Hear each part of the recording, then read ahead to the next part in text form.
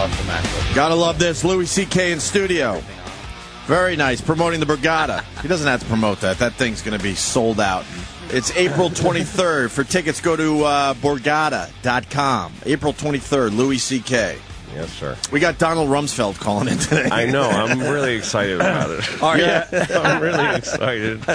you uh, a big uh, Oh. Rummy, Rummy fan? Oh God, I'm just so excited that we're Really? gonna actually be speaking to this guy. It just feels like a very rare opportunity. oh yes, oh, no. a He's rare very- opportunity is one way yes. to put it. oh, Well, he's got a new book inner, out. inner circle. This is the guy. This is the guy. This is a guy. You look at some of the pictures in there. You see him during the Cold War, during Vietnam. This guy Yeah. ha- was in all of this Everything. stuff. no, he knows actually yes, what's going on. Exactly. He actually He knows. knows. Can you imagine what he knows that he'll never tell anyone? Oh my God. Because this this book is a waste of time. Because he knows real stuff that he'll never write about. It's no, just his he's memoir. the shit he's taking to his grave. But on his deathbed, he goes. Yeah. He should just release it and go. Here you go. There This is are what I ali- really there know. are aliens at Roswell. Right. yes.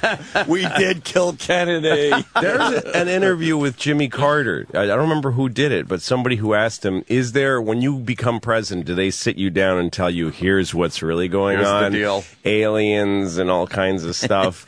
and then do, do you carry that to your grave? And he said, "Yep." He just said, And "Yup." he said, "Yep," like blanket, yes. Yup. And they said, "Well, what are the things?" He says, "I'm not ever going to tell anybody, but yeah, they tell you some things that will really surprise you." wow. And they, and they also scare you to the point where you're not even going to release it on your deathbed because you know they're going to probably take out your entire family or something, right? Yeah. exactly. So you got to Oh, be. So- a, you got to be a loner that knows all this right. stuff. And this is one of those guys. I, I mean, bel- he's one Yeah. of the guys who um, Inner who tells. He's not one of the people who gets told that. No, no, no. No, I absolutely He tells the people. that. Yes, he is the teller of the story. Tell her of the crazy things. Yeah, come on in here. I got something to tell you. Oh, and then it's it's just. I never horrid missed a single press conference of this guy. No, Weren't they Oh, he was- fantastic? Oh, unmute the TV. Rummy's on. I loved the Rumsfeld Yes. press conferences. Yes. Were the best. Oh. He could deflect questions Amazing. like a superhero with fucking No. with with bracers on his arms. no, that really is. That is like you're defending. Like you're it- the you're you're on the like the cutting edge of the world's everything, and you're fixing your tie and just standing there fixing your Yeah, tie yeah. and going, Fixing "No, I ain't telling you that." Oh, the Looking. balls. I will move on. Bob, Bob, uh, Yeah. what's your question? Knows the name of all the reporters. so defiant. knows their family. Oh. knows where they Kno- live. Knows their credit history. yeah, yeah. Knows if they're going to be audited. Right. Knows how much they owe on their house. Rummy. Is there any uh, anything in particular you want to uh, I'm talk not to him gonna about say, or yeah, ask 'cause him? I'm sure somebody from his camp is uh, listening. Is Yeah, listening, man. I don't even uh, know why we're talking to this vetting. guy. Why are we taking a chance like this? A chance. We're not going to get anything out of him, and it's just going to make our lives miserable. No, I'm excited to talk to Mr. Rummy. yeah. Yes. Donald Rumsfeld. You see the picture on the back? Look He's at still that. looking good. Yeah, he'll. He, by the way, he ain't done. No. Next Republican president is going to bring him He'll back. right on. He'll, He'll be right, right, back. in, Yeah. right? He'll be right back. You He's see back. the picture on the back of the book? Like that that that is Yeah. the look of a guy that was during the Cold War Mm-hmm. that just knew everything. How close? How close we really were to the world to, to the yeah, Yeah. to the to the bomb actually going. Yep. He was standing in the room while people's fingers were on buttons to launch missiles going, Yep. "Well, here it is. All right, stand down." he knows what had to happen and not there be those wars. Right. He's got to be pushing. But then on the front, he says, "Yeah, but I just still just put on a polar fleece and stand on my porch. That's all. That's it. That's casual all. shot You throw this polar fleece on. Take a picture for the cover. Yeah, he's looking good. with, with his sensible jeans. you That's what. Yeah, Sarah Palin has a polar fleece on her cover too. Real- Is that the look? That's the new That thing. It's say like, yeah, something. put on, but I got a polar fleece on. You look like what I, a what I ever do to anybody. Right. Look at me. Can't hurt a fly. Come on. All right. Well- Well, we got that happening. Uh, what Rummy. time? He has things to ask In him. about an hour. I'd like to Okay. ask him Mr. about some of the uh, some of the situations that are going on now in the Middle East when he's not involved, and if he, uh, you know, how maybe he would uh, like to see a president handle things, and Yeah. does What he feel say left to Gaddafi out? yesterday when Yeah, yeah. When you were on the phone, you think he's on on the the phone phone, with with Gaddafi? he's just got he's got a bunch of phones in his house. Gaddafi, Right. Fucking Right. Ahmadinejad is in the other line. and, All right, we're taking a call from fucking. That's funny. Yeah. What do you think of the revolution going on out there, uh, Yeah. Louis? Any any thoughts on the whole Egypt, Libya, Yemen, Tunisia? Uh, that's pretty exciting that people are pouring out on the streets of countries like that, and then and then guys are having to leave. Yeah. I mean, Gaddafi's crazy. He was the guy. bro, He used to come to New York and go to Studio 54 and do coke. He did. He used to fly in New York. He used to be in like the New York Post once in a while. Gaddafi was at Studio 54 last night. Like, he was one of those Brooke guys. He would have been on Shields. TM. Nowadays, he would have been on TMZ. TMZ, yeah. And I- he doesn't come here anymore, but he used to. No, Yeah. he's just a guy who gets, you know, much pussy and gets high. And he's been, so that was in the 80s. Yeah. So he's just been in like a deep, rich guy crazy freeze. You know, fucking hookers that get killed the next day. Yeah, That kind of. without an inkling of ever being thrown out either. No, now he's just like, what? Perked up out of nowhere. Yeah. There's a, give me an umbrella. I'll tell them. he's completely lost. He's, He's- he's, he's obsessed with with that umbrella, man. He loves the What's umbrella. that? What's that about? Keeps the sun off of him? I don't Really? know. But he's got the he's got the skin. He can handle a little sun. I don't know. Didn't a comic once uh, do a whole bit on him too? It's like he's the head of the place forty years. He's Yeah. been ahead of this. Why is he still just a colonel? Yeah, yeah. like Colonel somebody, Gaddafi. somebody done something. You can make yourself General Gaddafi. Right. Why does he insist on just? He's been a colonel for forty years. Ah, he's That's a great point. didn't- He, hasn't. he really hasn't hasn't, done really anything. done anything. Well, he just to merit. you know, uh, no, not militarily speaking. How does it end? Suicide or uh, or the people uh, take him out? well, he's, he's his rhetoric is quite. Because they said uh, he, he can't volatile. go anywhere. he doesn't really have a, any country that Yeah, no care one to take him him. anymore. No, no. He and and a lot of uh, Libya now is all divided. I mean, um, Well, it's funny that Egypt's it, mo, that guy being overthrown. Notice I went muh and then Yeah, quit, yeah. quit on knowing what Ma- the ma- fucking name is. ma- He's yesterday's No, I think that my ah, it's totally. yeah, nobody gives a shit that Egypt's government doesn't exist now. yeah, Right. there isn't one. Well, they're mad though already. They're getting mad already. That They're, they're going to nobody- protest a- again because they're mad at, at what the uh, Well, because the I don't think cabinet they or something. I they don't set think up. they want uh, the military in charge until September. Yeah, that's not usually a good uh, result of a revolution. Is to have the, that military, in charge. It's like took we'll take over. care of it. They never had a guy though. Yeah. Usually, you have a guy standing by ready to Yeah, take over. That's kind of great, though, to me. There wasn't Oh, a of- guy. right, of it was course. really just the populace. right. We don't like you. that didn't want it anymore. And actually, they went about it the right way. Is that they were they were nonviolent. Basically, they didn't do anything, and so they gave every world leader a, a, a platform to say you got to. gang rape a white woman. Do something. That's about Yeah. their only violence. Well, Uh, that goes on all day in Egypt. They pinched her Yeah, really that's hard. not a big they deal. pinched her really the, hard. the reports are coming in that she got pinched and really maybe hard. her nipple got pinched. Maybe Something no, like that. definitely. The sensitive areas they said got pinched really hard, and, that she got were- beat with flagpoles. They were calling Oh, her you're talking about Jew, something real. Jew, Jew. Lara Logan. Yeah. I didn't know what you were talking about. the white reporter. you guys are really getting creative with Yes, this yes. weird no, idea. the, the white reporter they decided would be just fine in the square with a little security, meaning the camera guy And that might have pinched. might have Oh, taken a, she a karate pinched? class once. She got Yeah. uh, she got pinched. Really hard. beaten Oh, with really? flag All the details. beaten with those flags they were uh, Right. carrying around the, the flagpoles. Sexually assaulted. pissed on, She um, got pinched where? bitten on They her said in nipples. sensual areas. and sensitive or areas. sensitive yeah, areas. yeah. Excuse me. sensual. Sensual. Sorry, pinched in sensual areas. sensual. in uh, sensitive areas. So yeah. you Well, know, yeah, but what the some fuck? hard nipple tweaks. Yeah. and, uh, I don't know. And then they were saying maybe some rape. Maybe some Maybe maybe a little rape. rape. Maybe, a little rape. rape.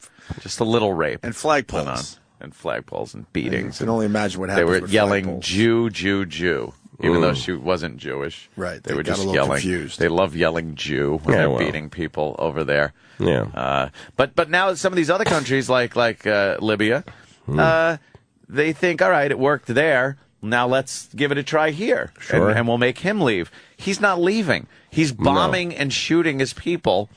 Uh, So that's a little different take on this whole thing. Yeah, he's actually strafing the crowds with jets. yeah, yeah. Yeah. He's taking Yeah. jet Isn't that fighters wonderful? Yeah. and bombing and strafing them. But a some of bunch these- of them, I guess, won't shoot. Well, they're horrified. A couple Yeah. went to Malta, was it? Yeah, a couple And then a couple said, "You know what? I don't even need this plane anymore." And Yeah. they just ejected and said, Right. "Fuck this." pulled a maverick. Right. Said, That's "Get it. the. I'm not doing this." Yeah. No, I remember that in the first war with Iraq, whichever one that was. I don't remember. Yeah, whenever that First, was. uh, you can ask Rummy Rumsfeld, later. he'll know. yeah. They'll tell you. And there was a thing I remember on CNN that a, a, a fleet of Iraqi jet, oh, a squadron of Iraqi jets had taken off. Yeah. to- and that they were going to hit Egypt. And then they watched, I saw on the news with on some map, they just turned around and went to? Syria and landed and asked for college education. that was the end of it. That was the end of the Iraqi Air Force. the whole Air Force just They, left. and they must have gone from yes, sir, you know, absolutely, we are going to Yeah. get every one of them. Once they are in the air, they were like, yeah.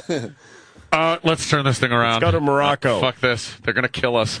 They just We landed. get our asses handed to us. Mm-hmm. That's uh. But they're going to get Libya, right? The people will get Libya eventually. I don't know. No one's This is really. going to be a tough one. Ah, you know, this guy ain't going down. Gaddafi isn't. Yeah, but uh, his yeah, but he has nobody. I mean, that's like people where are does him. where does power come from? yeah, but he's still got he's still got enough people shooting at civilians, Yeah, unarmed civilians. he I has mean, a lot of money. He has probably has a lot of actually like gold bars. Yeah. It's going to come down to him giving some pilot a gold bar. to just drop fucking napalm on Yeah, his on his people. Uh, yeah, because he still has enough of that. He's got enough money and a, enough power. well, these and guys, the leaders, they that's their whole their lives are so weird because they don't care literally about their countries. They just are. No. They're like royalty. They're like old Yep. European royalty. Mm-hmm. Yeah, they They're don't just care. people that live in the ca- in the palace, and Yeah. they just eat shit and they make deals with other people. Uh, it must get sap the country's dull. resources, and so he. The look on his face is like, I don't understand why I'm being asked to defend this. this is just, I'm a despot. What part of that do you not understand? This is what it is. I stay till I'm dead. When did this not start not happening? and then my kid takes over. That's yeah, how it works. exactly. Someone- My kid takes over. He's worse Yeah. because he was raised. At least I fought to get here. Yeah, he was raised in feels that. After me entitled. going to be a kid who was raised in this decrepit, fucked up environment, who's never seen a poor people except for the ones we eat. Yeah, always, always had complete impunity. Yeah, now Like, it's his turn. he could just rape and pillage and kill without any consequence, and now he's in charge. Yeah, that's amazing. The way that's the way the world. I heard rivers, rivers of blood. When you hear them, Right. whenever they mention Rivers. rivers. of blood will flow, That's not good. Not a good sign Not for good. the populace. No. This, this guy says Gaddafi has a house in Jersey. Uh, Brian in Philly. Hey, good morning, Opie, Anthony, Louie. Bob Gaddafi. Uh, Danny, if you could help us out, I got to see if uh, Gaddafi actually has a house in Jersey. Where, I where's heard his that, house? too. Englewood, New Jersey. He owns a property. If you remember, uh, Oh, he pitched his tent in the backyard. Yeah. Yeah, I remember that now. yeah, when he was at the UN uh, thing uh, last year or the year before, uh, he owns he actually owns a property in Englewood, New Jersey. And if things go really bad, he may end up, you know, there. But Oh, you think he'll Uh, end up there? Yeah, you think we'll take him in? Are we going to see him at Jets games next year? Yeah, he's going to be on the floor right. at MSG with some Next to Spike. Lee? Yeah, There's Muammar Gaddafi talking to Woody Allen just taking in the game. with his weird little beard, sitting next to. Former uh, murderous dictator Muammar Gaddafi taking in the Yeah. game. Look at him, big fan, big uh, big Knicks fan. Giving a peace sign for the jumbotron. What's up? yeah, Five people. Woo! yeah. Wearing a Jersey Shore uh, fucking shirt. This guy used to live next to a Gaddafi or what, What? his son or something. Was your neighbor Gaddafi? Well, they all these guys have huge families. Like the guy in Egypt, that Right. they're the whole thing, and also, by the way, the leader of uh, Afghanistan that we support. they Oh, have yeah. big families. Their whole the whole thing is these clans. Yeah. And they whoever gets in charge just starts they plug in like fucking ticks and they start sucking the blood of the economies and Yeah. giving all the money to their to their people, to their people. not It- their people, but their, well, to their, family. clan. Yeah. And then they and just- everybody who's a Gaddafi uh, is is fucking rich, and they and then in Libya. Meanwhile, Libya's getting grayer and less like a tick. fruitful. Yeah, Like what a tick Yeah. does. And what? The women are just constantly pregnant, I would assume. yeah, they just keep you keep growing and you send people out into the world, and you know, Mm-hmm. it's a fucked up. really is. And to have such a, a, a resource uh, that they have so much fucking oil, Yeah. Libya, and uh, to have that much money coming in, and the people are just impoverished. Yeah. it is amazing. Well, a lot, of, and even on every level. Like I once talked to a homeless guy, in Union Square and or wherever it was, somewhere in New York. I smoked some marijuana, which I'm not good at. Like I have to get away from people when I get high. really? I was Yeah. with some comedians and some it was Doug Benson, who's a famous pot smoker, and he gave me some pot, and I was like, okay, well, I'll see you later because I can't be around I can't anybody. smoke this with you. So I got, I was really high on 14th Street, just standing there, and some guy says, uh, you know, can you give me a dollar? What is this guy? Weird looking, interesting guy, and I gave him a hundred dollars, so that he would talk to me. I just didn't want him to ask. It was a big crowded area, and he could have been doing better. Yeah, yeah.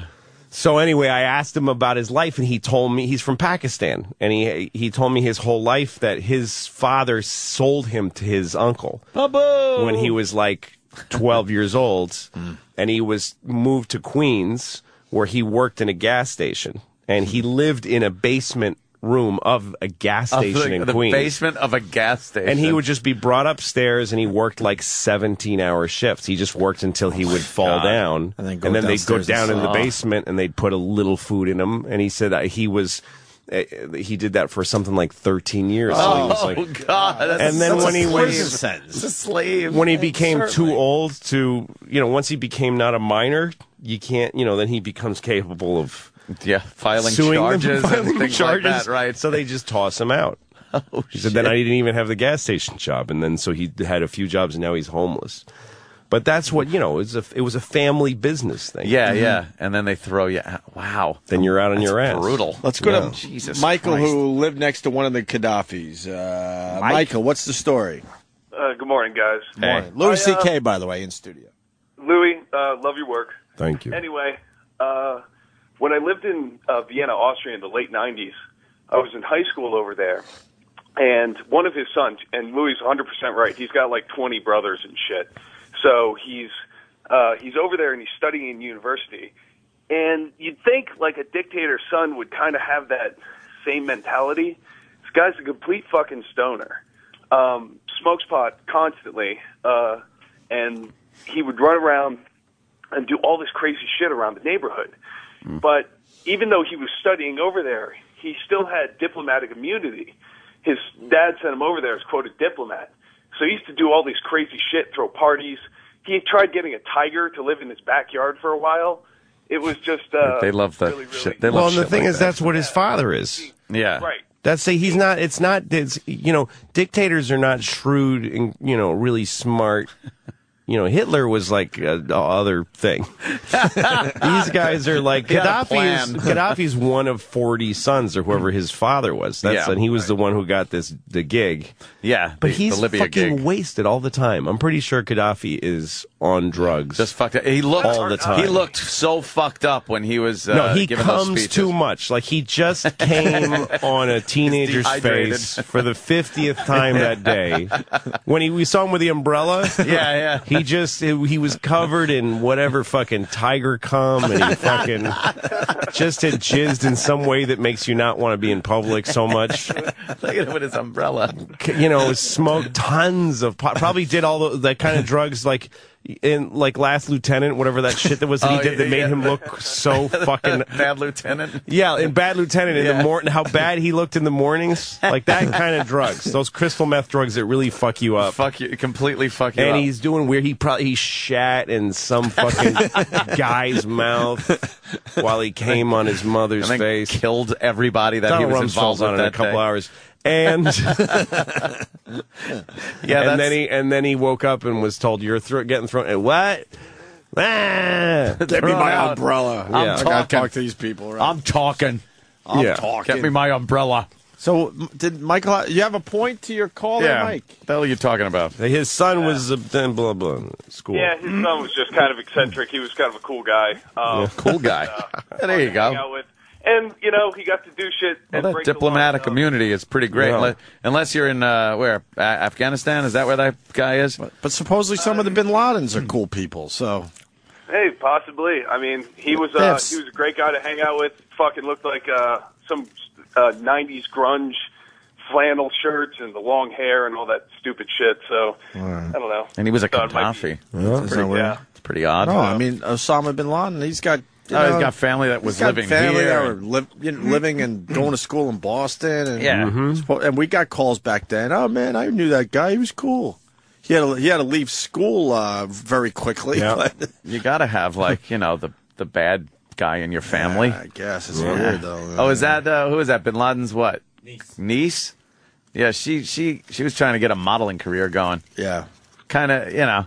I think people are a little put off. yeah. It's really it's tough, kind of hard to really. tough to hire to, for a modeling gig. I don't care how hot you think she is. You're just like, hey. Who's gonna be the brave guy to do that? You know, Ginger Bin Laden. It's not really. A, yeah. Right, right. And and it's like, eh, but you know, yeah, she's the niece of the guy, you know, the towers and Oh, ah, Yeah, well, that tower thing. Yeah. I don't know. I don't know if we really want to Kind make her represent our new fashion line that's coming out. Right. Well, look, Louis got a sandwich in front of him. Why don't we take a quick break? Fine by me. Now, I want to talk about this uh, this bench, the sex bench with happened? the pot and the sex. Oh yeah, there's pot It's a great and little story going on. paper today. I don't know. Little tease uh, there, Louis. Oh wow, radio we got tease. A, we got a bench that uh, people are having sex on and uh, and smoking some pot. And where is that? But the bench is dedicated to a very famous individual. oh, So so you you never- nothing you- about it. You can never, you can never keep those things sacred or safe or anything. It No. I think it's a good uh, idea to name yeah, a bench yeah. after someone. I bet it was a thinking real, that people would take it very seriously and just have a nice little lunch there. And I bet there was an unveiling when it was first Yeah, put there, yeah, and yes. a pomp and circumstance, Yeah. and everything nice, and and now people are just fucking and smoking pot. yeah, it's a horrific bench. Uh, Louis C.K. promoting the Borgata. April 23rd. Tickets go uh, to Borgata.com. Are you going to go down and see Louis? I love the Borgata, and I love Louis, so yeah. If I can sell, I think we got like 500 tickets left for that show. If I can sell it out, we'll add a second show. If Mm-hmm. Oh, I can nice. sell it out by the Nice. end of uh, this month, Right. then we'll add a second show. I Oh, would really like to do that. That thing 'cause will then sell I out. get more Hell yeah. money to spend on on things that I like to put in my, in my body. so 500 tickets if we sell them today. All right, let's I'm do this. Shape. Let's do this for Louis. You know you're going to have a good Sell time. it out. Right. Uh, where are we going? Uh, D-Boy uh, came up with this. Oh. Based on uh, Bob Kelly's brand new fucking character, new Billy the character. Bass Man. the best.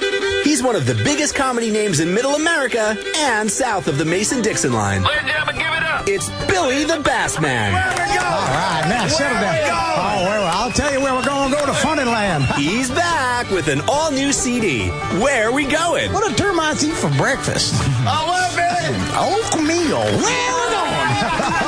Fat, uneducated slobs are calling it a comedic masterpiece. Did you hear about the lookalike competition in China? Yeah, everybody won. Jim Crow is rolling in his grave with laughter. oh, hey. I hate the fucking. Oh. Just like you do. Where we going? Move over, Larry the Cable Guy. There's a new bland, predictable redneck in town. All right, what's Mary short for? Huh? She got no legs. Where are we going?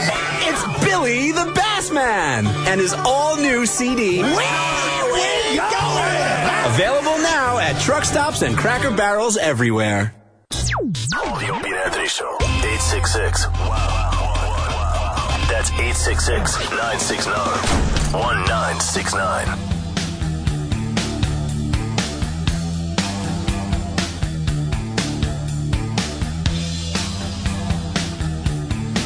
We got Louis C.K. in the studio. April 23rd, the Borgata Hotel and Casino in Atlantic City. That's that's uh, that's a great gig for Louis, and uh, man, you should go see him. Obviously, I saw Oh, yeah. Louis. Oh, we talked about it the last time you were in at Carnegie Hall. Yeah. What an amazing show! Thanks, man. Just the an Borgata's amazing great. show. Yeah, it's Borgata's perfect for such it. a cool.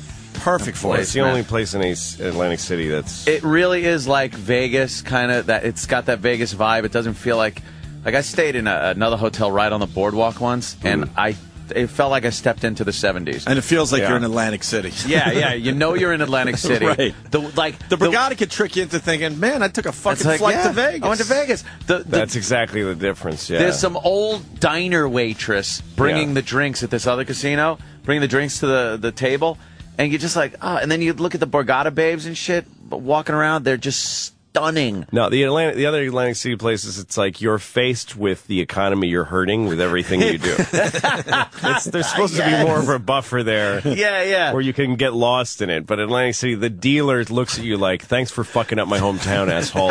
Would you like another card? like they just look depressed. God damn, that is it. You know? Yeah, yeah. My, my father owned a house, and now I live in a fucking shack. Right. So that you could play blackjack. I hope you're having fun. Yeah. Oh, look, blackjack. I would hit on that, yes.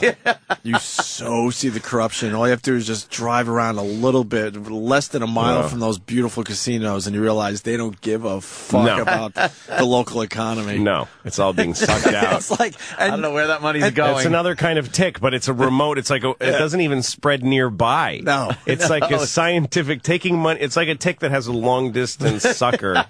yeah, they must have helicopters at night that literally lift, Lift it the up money out into the sky to make sure it does not touch even touch Yeah. the local economy. Anybody and there. the politicians, they obviously just look the other way. Yeah. It's like they, you- you're not even going to throw a dollar into the economy. no. who, who are you talking about? Yeah, what You're do you gonna- mean? Yeah, what, What? are you, What what do you trying to mean? say? What, What are you trying to say? What What are you trying to say? Who, who, you, who, you, who you What? saying What? is, What? is What? doing this? What? What? What? What? What? You're right. Yeah, exactly. We're already in in a weird spot with uh, Donald Rumsfeld. I bet, he, I bet he knows where that money goes. You know what? I think Atlantic City's beautiful.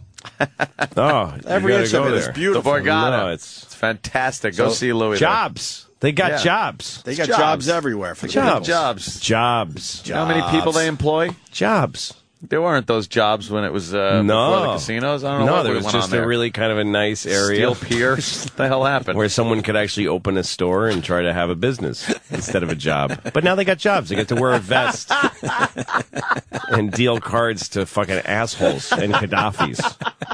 Yeah, Gaddafi. They get to fucking great. Uh, jobs. you mean people used to open up their own family business down there? yeah, yeah, Like it used to be a- bakery or Right. delicatessen. yeah. Wherever the Something like fucking that. wherever the, the Trump uh, down there is, is does he have one down there? Oh, he's Oh, got yeah, he the does. Taj Trump and the Marina. marina. I don't know how much. yeah, he Trump Marina really is sitting where some guy used to have an old fish restaurant. From he had the restaurant from 1850 in his family, and now it's a fucking Trump Marina hotel.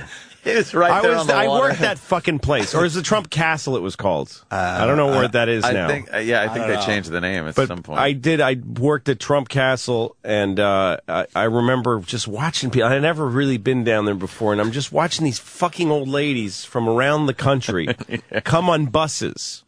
Like from the middle of Ohio or Kentucky, literally. Yeah, like you see yep. a bus that says like Lexington, Kentucky, Yeah, and they fuck, and these fucking old women come out of the bus, and they're all like, like to, they took a medical hit from the trip. like you just see them, uh, and they get out of these fucking buses they they were in for hours, days. yeah, blood just clotting in their Oh, legs. helping each, you know, the 60 year olds helping the 70 year olds off the bus. And they go uh. get shit rooms. Yeah, And then they pour buckets of fucking coins. All of their fucking retirement, all they got left, they Yeah. just pour it in buckets into these machines. And then they leave. It's such a- Leave. and then so I'm watching all this, and it's all says Trump all over it. And I never. And then I was in an elevator, and Trump got on with Marla Maples at the Oh, time, yeah, okay. and everyone was like, "Oh, oh there, oh, they are!" They were really excited. They saw them. All the, oh my God, there's Trump and the woman he's fucking illicitly.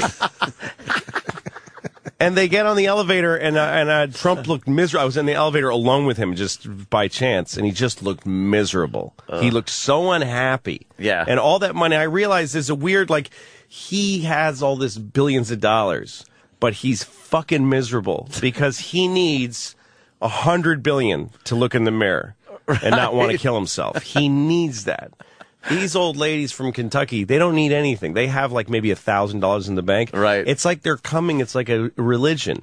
Like they're coming to help him feel better. Like they're coming to give him money. giving him the money. He's like, I have a hundred billion dollars and I don't fucking fuck everybody. It's not enough. and these old ladies are like, I have maybe a thousand. You can have all of it. I'll- I'll that give you help? all of it. I'll take a bus all day to give it to I you. we could have pumped it into our own economy where we live. yeah, I could have given it to my neighbor's store that closed Yeah. last week. but I figured I'd come all this way just to dump it into Hopefully this make you a little machine. happier. Yeah. Uh, that's classic. With yeah, with the, the only buffer being uh-huh. this vague hope that I might Yeah, leave that I with may be more, one but, of the trillions. But it ain't gonna happen.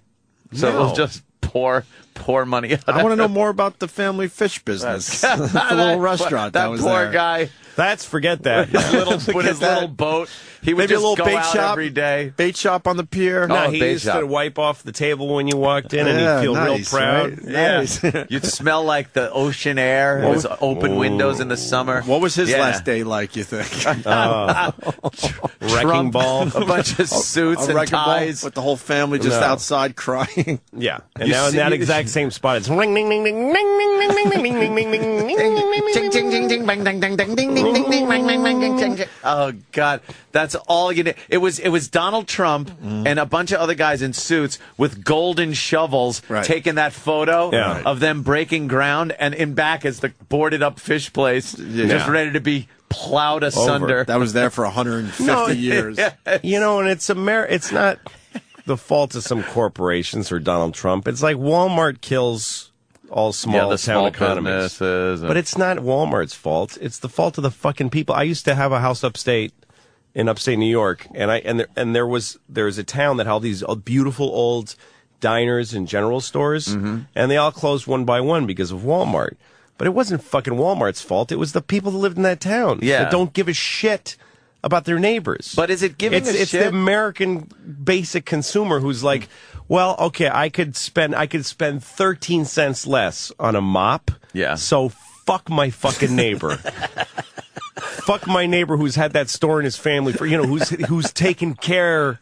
You know, there's like a million George Bailey moments in there that town's history where the whole well, I'll give I I'll give a check to your you know baseball teams with names John, John's General Store Right. Yeah. like those the whole community coming together to do stuff. Yeah, fuck yeah. that. I want to buy a Jim Carrey movie three pack for seven dollars. So fuck the old movie theater with the Wurlitzer organ. but think of like think of Blockbuster Video. Now that caused a big thing because it pretty much closed down all the little mom and pop video stores. Yeah. Which was a great family business. Which was a family business and Yeah. shit like that. I remember those things and having to go in and lawn, you'd have to buy nice a lawn. membership fee when you Yeah. first get in. When it was like a hundred bucks, and and that was just to try to keep that the was- stores. Yeah, to keep the alive. store open. To like, but then Blockbuster came around. Now, what do you want to do? Go into the mom and pop and wait a week for the the latest release? Yeah, why don't you?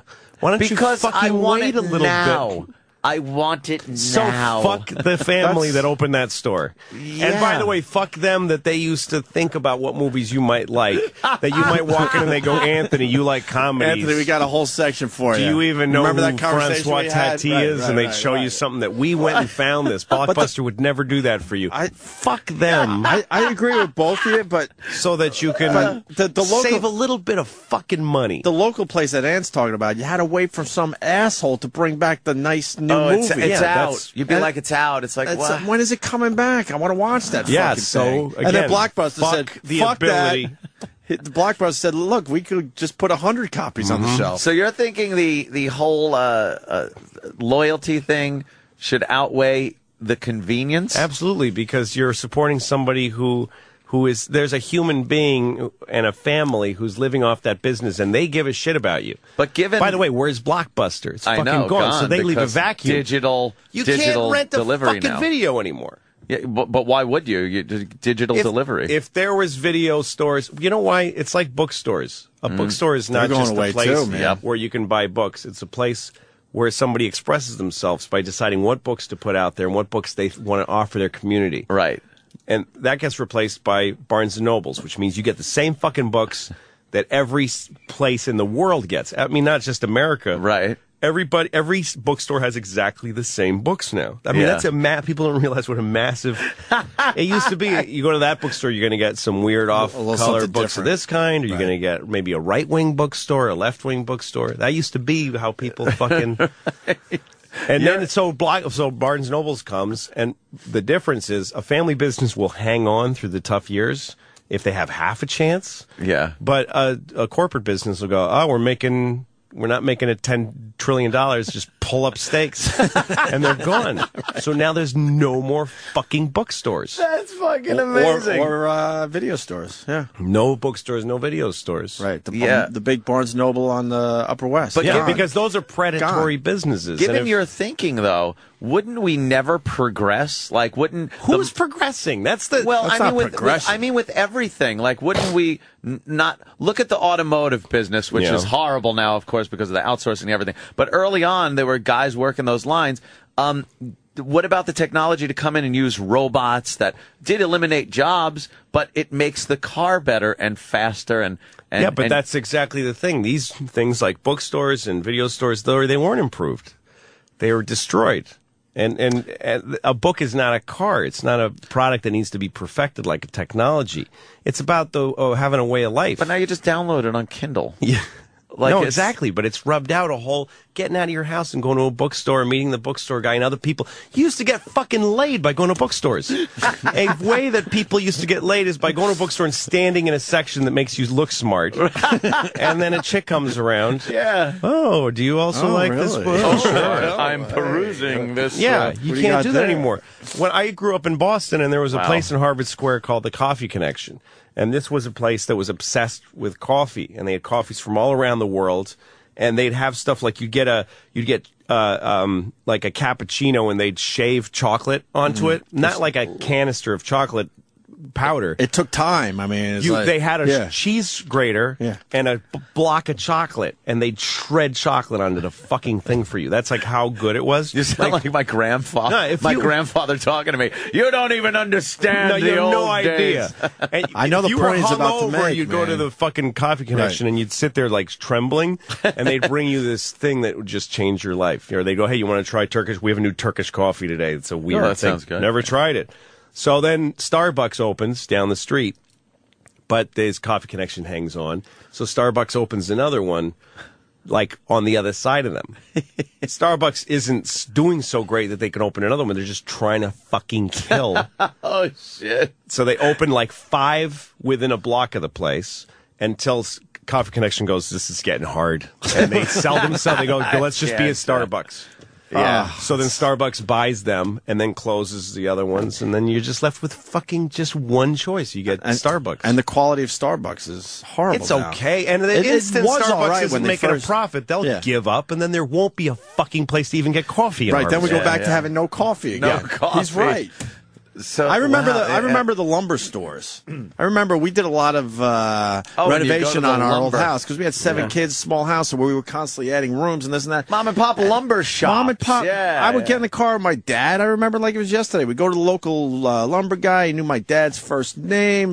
We got this for you. We made your pile. It's Putting all a dormer set. on the house, are you? And- and- yep, yep. Well, you're But gonna need some of that. No, no. I'll come over here. I'll help you out. But it- you need that for the joists. But but there was a, it was a social thing too, man. How are the kids Lumber and how are your kids? very blah- social. right? Yeah. And then you know the Home Depot. It's a fucking massive warehouse, and no one wants to fucking help inhumane. you. You're and just there's, mad and there's right when you sad walk in. people working there. Right. Yeah. The bu- the buying of the lumber is not a happy exchange. It used to be that you could say to yourself, you know what? If I get if I invest in a good saw.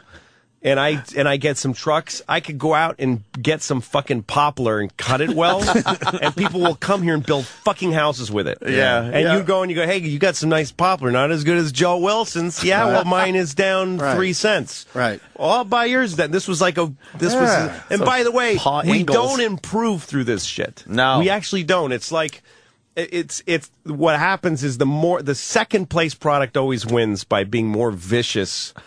to to Yeah, like over the- Microsoft versus Apple. Right. Microsoft is is bullshit software. It's hard compared to Apple. I know, believe me. It's horrible, but Bill Gates is a capitalist and he was vicious and he fought Apple and so for some years anyway. Yeah, yeah. America lived on shitty computer technology because of his There was a point ambition. where we all thought Apple was gone. yeah, it's VHS dead. versus VHS Beta. versus beta. Beta is still used today. Yeah. Beta videotape is still what most TVs are, uh, TV shows are shot on. Yeah. and we all watched VHS tapes because the VHS people said. We make the second best, so we're gonna fu- be cutthroat and fucked up and and pay off people and uh, go to litigation and like sue Beta. And Beta's like, we just well, we're making the best kind. We can't even get people to buy it. yeah. And so everyone gets VHS. This Unbelievable. is Tesla and fucking Edison. It's Edison always and Tesla, yeah. One guy's a genius and is selling a beautiful thing. The second place guy copies it, doesn't do it as well, And then takes him to court in every over. fucking state in America and muscles him and fights him and outdraws Ruins his him. credibility. Gets some fucking Texan to pay for it. and then uh, we all have to buy the shitty product. You're fucking brilliant. It's true. So it's that- the same with cars. You're- they would be better if the, what you're saying was actually true. If it was like the guys still on the assembly No, line, yeah. or- Your, yeah. your, But the- your coffee story is deeply depressing. It is what It happens was- everywhere. this- I was thinking as you were uh, talking about that, like the Starbucks popping up are like weeds, yes. taking out the really nice fucking crop. Yeah, nice that's flowers. what they do. They're and just, they're only they're just interested putting in the, weeds all over the place right. to destroy it. That's right. And they don't even make money. Like Harvard Square is a good example. I love Harvard Square. It's those been a while, but used, I you won't love place. it next time you go. it's been years. It's uh, there used to be a place called the Tasty and like the Wursthaus. All these places that have been there from the 1900s. it's a Sunglass Hut and an Abercrombie and Fitch now. Jesus. And I was talking to one of the local business guys who owns a cigar store. He's like the last guy left. Look at you. No, I'm- talking that to shit the fascinates local me. businessman. and I asked this. him, "Are you going to go under too?" And he said, "He said, you know what? Because he he went to Harvard Business School and then he opened his little His cigar business. store. oh God. He said Abercrombie and Fitch and Harvard Square doesn't even make a profit. They lose money every day. They're not that store. It, the rent is so high for what they built there Uh-huh. that they can't. If they could sell jeans all day, they're not going to make a profit. They're not there to make a profit. It's just a billboard. It's a 3D billboard. Oh, it's there so that you'll buy Abercrombie online and to keep it visible. in your mind, in your Yeah, head. Yeah, That's yeah. fascinating. There's like the Nike store on 50th or what. All those stores, they don't make a fucking dime. They lose money every day. Sure. It's worth having a giant global yeah. billboard. It's like a billboard. Yeah. that uh, you walk into. That's how far away this is from like guy, mom and guy pop has guy. an idea, Right. Puts it out there. I love this Folks love it, and they start buying it. It's not even Wow. We're not even close to that anymore. no. anymore. Like I'm nostalgic for the guy who started Wendy's. Like that's that's now like a great American. He's like a The revolutionary. Great American Story, Yeah. or, or Ray Kroc from McDonald's. Yeah, he's like the Che little- Guevara, or whatever his name is. Like he's like, ah, oh, a great man. They're sort of making a comeback, but remember just the local uh, burger joint was cool. Are they making a comeback? A little bit. You, you see more burger joints popping up. Maybe they were part of a whole corporate thing, but they. Well, like in New York, there's Five Guy Burgers here. Right, right, right. But when we were growing up, the, every town had its local burger guy, Yeah. and they, they bragged about their burger, and it was better Yep. than the, the guy's mm. burger from the next town over. And, and then you watch those slowly. The one in Huntington, the Choo Choo oh, hamburger oh, right, place. right. And their thing was, well, we'll bring your burger on a nice fucking train right Yeah. in front of you. Right. Oh, it's Oh, here comes my electric order. You see it fucking rock in the restaurant. Yes. It comes around and stops at your, pl- Yeah. your you know, your your counter spot. Well, that's what And it that used to be like when things were more spread out. That everyone had to have their own idea of here's Right. what, here's why you want to come here. And then I think Yeah. instead of like if you come here, it doesn't matter because word across the street too. Right. Fuck you, just eat this shit. You think it's going to get better once these big companies take over? The product goes down. What do you they don't think have about to compete anymore? like online purchasing? Then you must do a lot of that, though. yeah, I do. Yeah. No, I think that's prob that's probably the next version of it is that you can throw together a little product and sell it online And just be the mom and pop online Yeah, 'cause thing, you don't need a store anymore. and then someone will f- figure out how to fuck that over. Yeah, Oh, but yeah. you They'll can't because it's out. not real estate. You can't take over. You can't push somebody off the internet. yeah. That's, They'll always be there. That's true, but you can No, be the better online. Yeah, they'll make or you- the bigger and They'll make you have the website with .org. Yeah. They'll give you a make it dot harder to something that find, no one does. But if you're Right. like a mom and Dart. pop thing and you're selling, let's say, electronics, or so, uh, you'd be like, oh, great, they don't have that. Let me go to Best Buy's website. Fucking And- no, that's absolutely true. That's hard. Yeah. hard to sell. Yeah. Just to add to the discussion, I used to be a big uh, music store guy, and every music store was a little different. And this guy, if. Yeah. you got to know him, he's like, "I got some fucking bootlegs you might want to That's see." right. And it's completely illegal, Oh, and we know it. But I've seen you in this place en- enough times that I know you're not a rat. So why don't you follow me? Well, that's Remember exactly shit? it. it. Guys like like Iggy Pop. Iggy Pop becoming popular was a good thing, I think, for America. It's a good Yeah. thing for the American voice that guys like that would. But the reason he came up was because certain record stores would go, "I'm fucking digging Iggy Pop, and I'm going to make a." I'm going to sort of take a gamble that my customers will like him. Right, right. So they'd go, they'd order like, give me ten Iggy Pop, uh, you know, twelve inches, and they'd put them out there. Right. And the kid with the leather jacket, who the fuck is this guy? Right. I try him out, kid. You, all right, old man, fuck you, you know. and he'd try Iggy Pop, and he'd go, holy motherfucking shit. And all of a sudden, Iggy Pop yeah. is flying off the shelves. When I was growing but up- now, if you're not on fucking iTunes, like the whole country has to make one decision of who we like.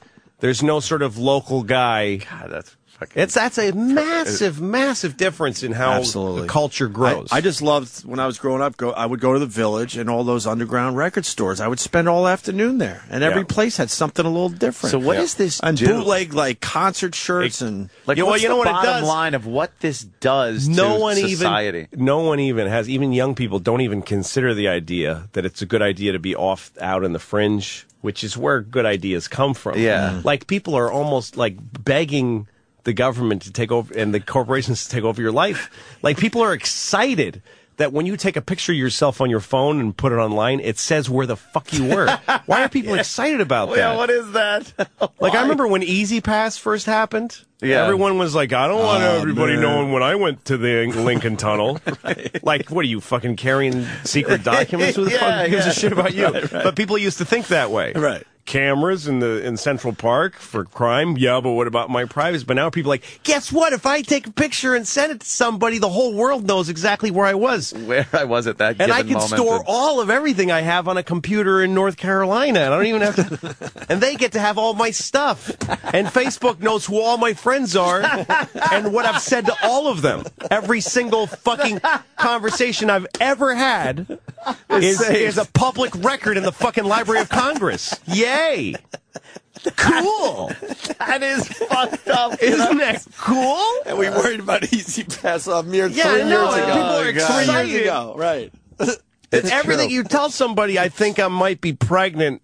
It's in the Library of Congress Now it's now. forever. Cool. And there's a fucking geotag on it saying where you were standing when you fucking said it. A, a fucking coordinate. Yeah. A, a global coordinate Fucking of where you were latitude standing. and longitude. Why do people? Why of would when you, want you said that, But we and didn't when want to you use took a picture. But we didn't want No. to use Easy Pa- Pass three years ago. Yeah. That is really It's fucked sick. up. It is really fucked up. You have to belong to a fucking club to listen to a song. You have to have a credit card to like listen to a song. You can't go buy a record and play it. You have to if you fucking lose your credibility and your iTunes account gets suspended, you can't play any of your music on anything. You're done. You can't listen now where it's on satellite radio. You have to subscribe Yes. to listen to the radio? Like the only way to listen to music without being a credible American citizen with a credit card at belonging to a corporation, the only way you can fucking whistle. That's about the only way. That's how you're going to hear the song. That's the only- whistling to yourself. the only time you can, unless you want to join some. Yeah, because there are a lot of uh, the the music stores don't even carry fucking. There's no music stores. There's no music stores. It's You like- got to go to Best Buy. And and they got their and- CD section, which is Sort of. dying out. It's being pushed. Yeah, and it's just away. and it's just a reflection of what's on iTunes. Yeah, and and what's you don't on have- yeah, yeah. Amazon. Nothing. You don't have a guy taking care of that section, so it's all just kind of willy nilly. You're not finding something new man. and uh, eclectic. No. The problem, uh, there. and the problem is what Louis is getting at is with uh, corporate America, only a few of the people in corporate America actually make the money.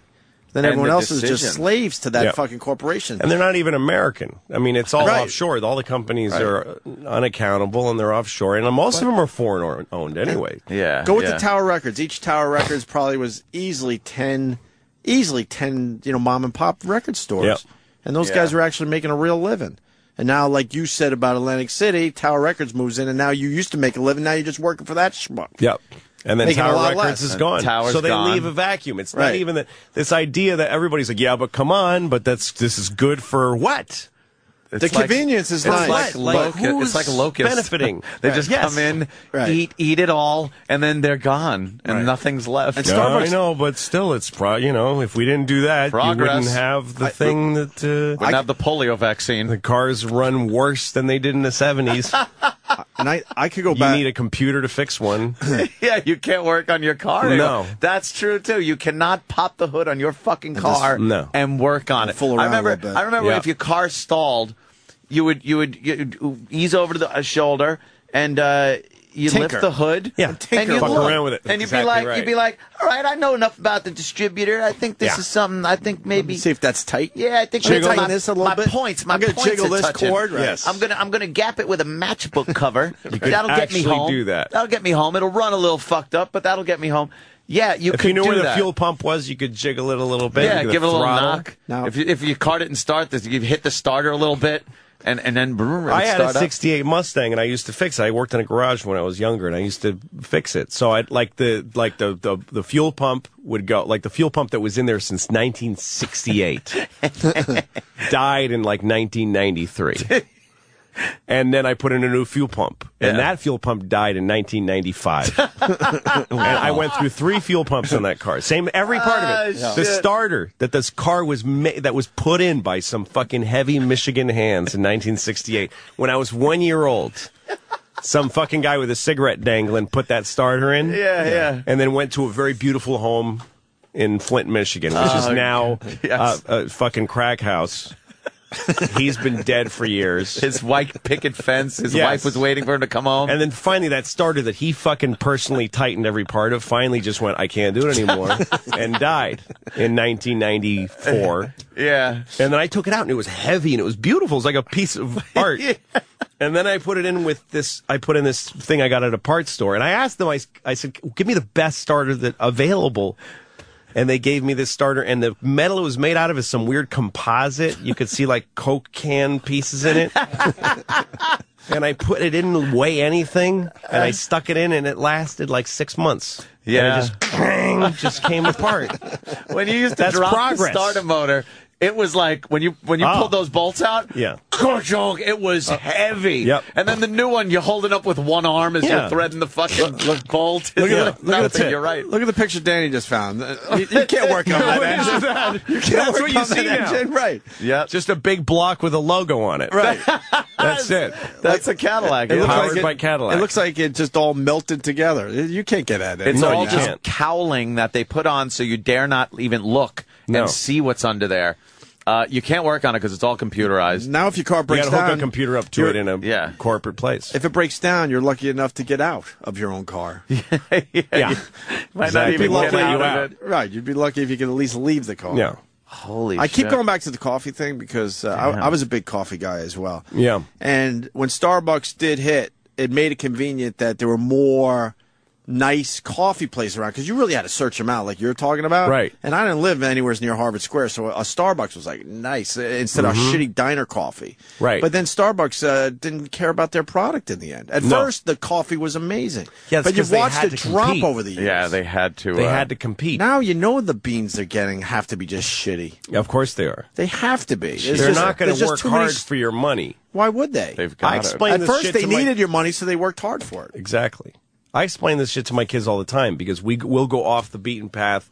We'll go three blocks over and spend 40 more cents. that what are we doing with this precious money? That people are like, well, I'm saving so that I can buy some fucking video game, uh, have a video game experience for 10 seconds that evaporates from my existence later. What are we saving the money for? But I we go a few blocks over, put, spend a few more cents to go to like a butcher Yeah, yeah. instead of going to you know that, price chopper. We go to a fucking New York City butcher. yeah. where the guy's got a red face. How you doing, my man? And it, you know, blood all over his fucking little yeah, apron that he's wearing. gets his steak from his steaks from a fucking place where there's like a direct line from the cow to the slaughterhouse, steak. right? Yeah. Yeah, instead of this fucking shop right, you know, probably some human parts in the steak thing. I, I was go, going to uh, like uh, somebody go, oh, you want to get something for lunch? Let's go to like Subway or something. I'm like, why would you not just go to a deli, like Yeah. and get a real sandwich made on a, a hero roll that was in a bakery that morning, and Mm-hmm. Yeah, and the exactly. driver took it over to the. A place where they're not going to measure the meat. No, And I it's like, remember yeah, I was a pre- guy- all pre-cut. Where the local guy goes, oh, Sucks. Anthony, you know, you've been a good customer. Here's a few extra slices. The Yeah. Subway, It's they a- actually weigh their, their meat and their Yes. tomatoes to make Terrible. sure it's the proper weight. I was in a subway once in somewhere in Arizona. And I was driving across the country and I stopped. And it was a subway inside of a fucking Sunoco station. You know what I mean? yeah, yeah. Oh, and there was the fucking kid working there was this depressed looking kid with his that he cut his own hair like there was chunks cut his own hair skinny fucking act just Yeah. depressed looking pale american and the kid he's serving is this exact same person Oh, like shit. like he's just barely just different colored version you know like in star wars there was r2d2 but then there'd be like a red version of it Yes, like the red R- R2D2. yeah it's just kind of basic And one guy, and he's going, "What kind of sauce do you want on?" And he's like, "Um," and like, I guess I'll get go ahead and get the, the green one. And he's making it for him, and I wanted him to say, "Should I just eat it too? Does it even make Yeah. a difference which one of us eats it?" like everyone's just on one side of the counter or the other. There's no Right, right. identity to any American. The only identity you have is what your sauce choice is. Yeah. Like that's the, only thing damn. you get now is like, well, I like, I particularly like.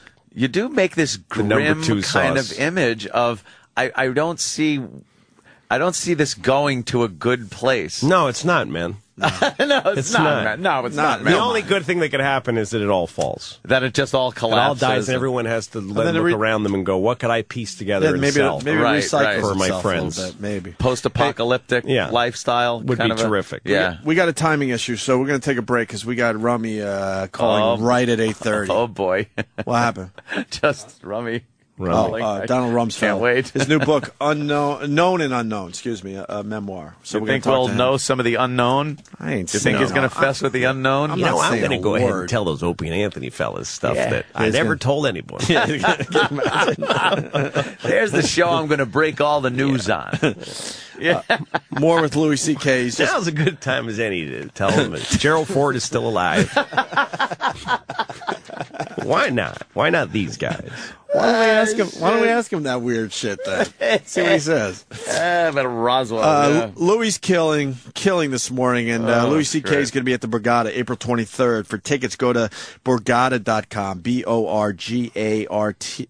No, that's not it. What? They misspelled the website, right? That's awesome. Borgata. Bor- uh, there's no R in the end of Borgata, right? Borgata. Google yeah, it. no, it's B O R G A T A dot com for tickets You know for what? Louis C.K. If you just you have a computer to go online, right? Right. Just Google the fucking Yeah, thing. Borgata. Like I never Does understand. anybody It's like, need to know how the do you website? Spell it like really kind of anything you can't spell. Even the Just throw it in. The browsers finally, you just put it in the URL. Right, Someone right. figured out these Yeah. fucking people don't get it. They said, "Hey, dummy, this is Yeah. how it's really spelled." just Yeah. write it with your finger on the screen. And right, we'll figure it out. I out. don't even use like dictionary.com No. or like Merriam-Webster. I'll just go to Google, type in the word that I'm I know I'm misspelling, Yes. and it says, "Did you mean the correct spelling?" Now you know the Now correct- I know. yeah. And you don't even need brains to know anymore.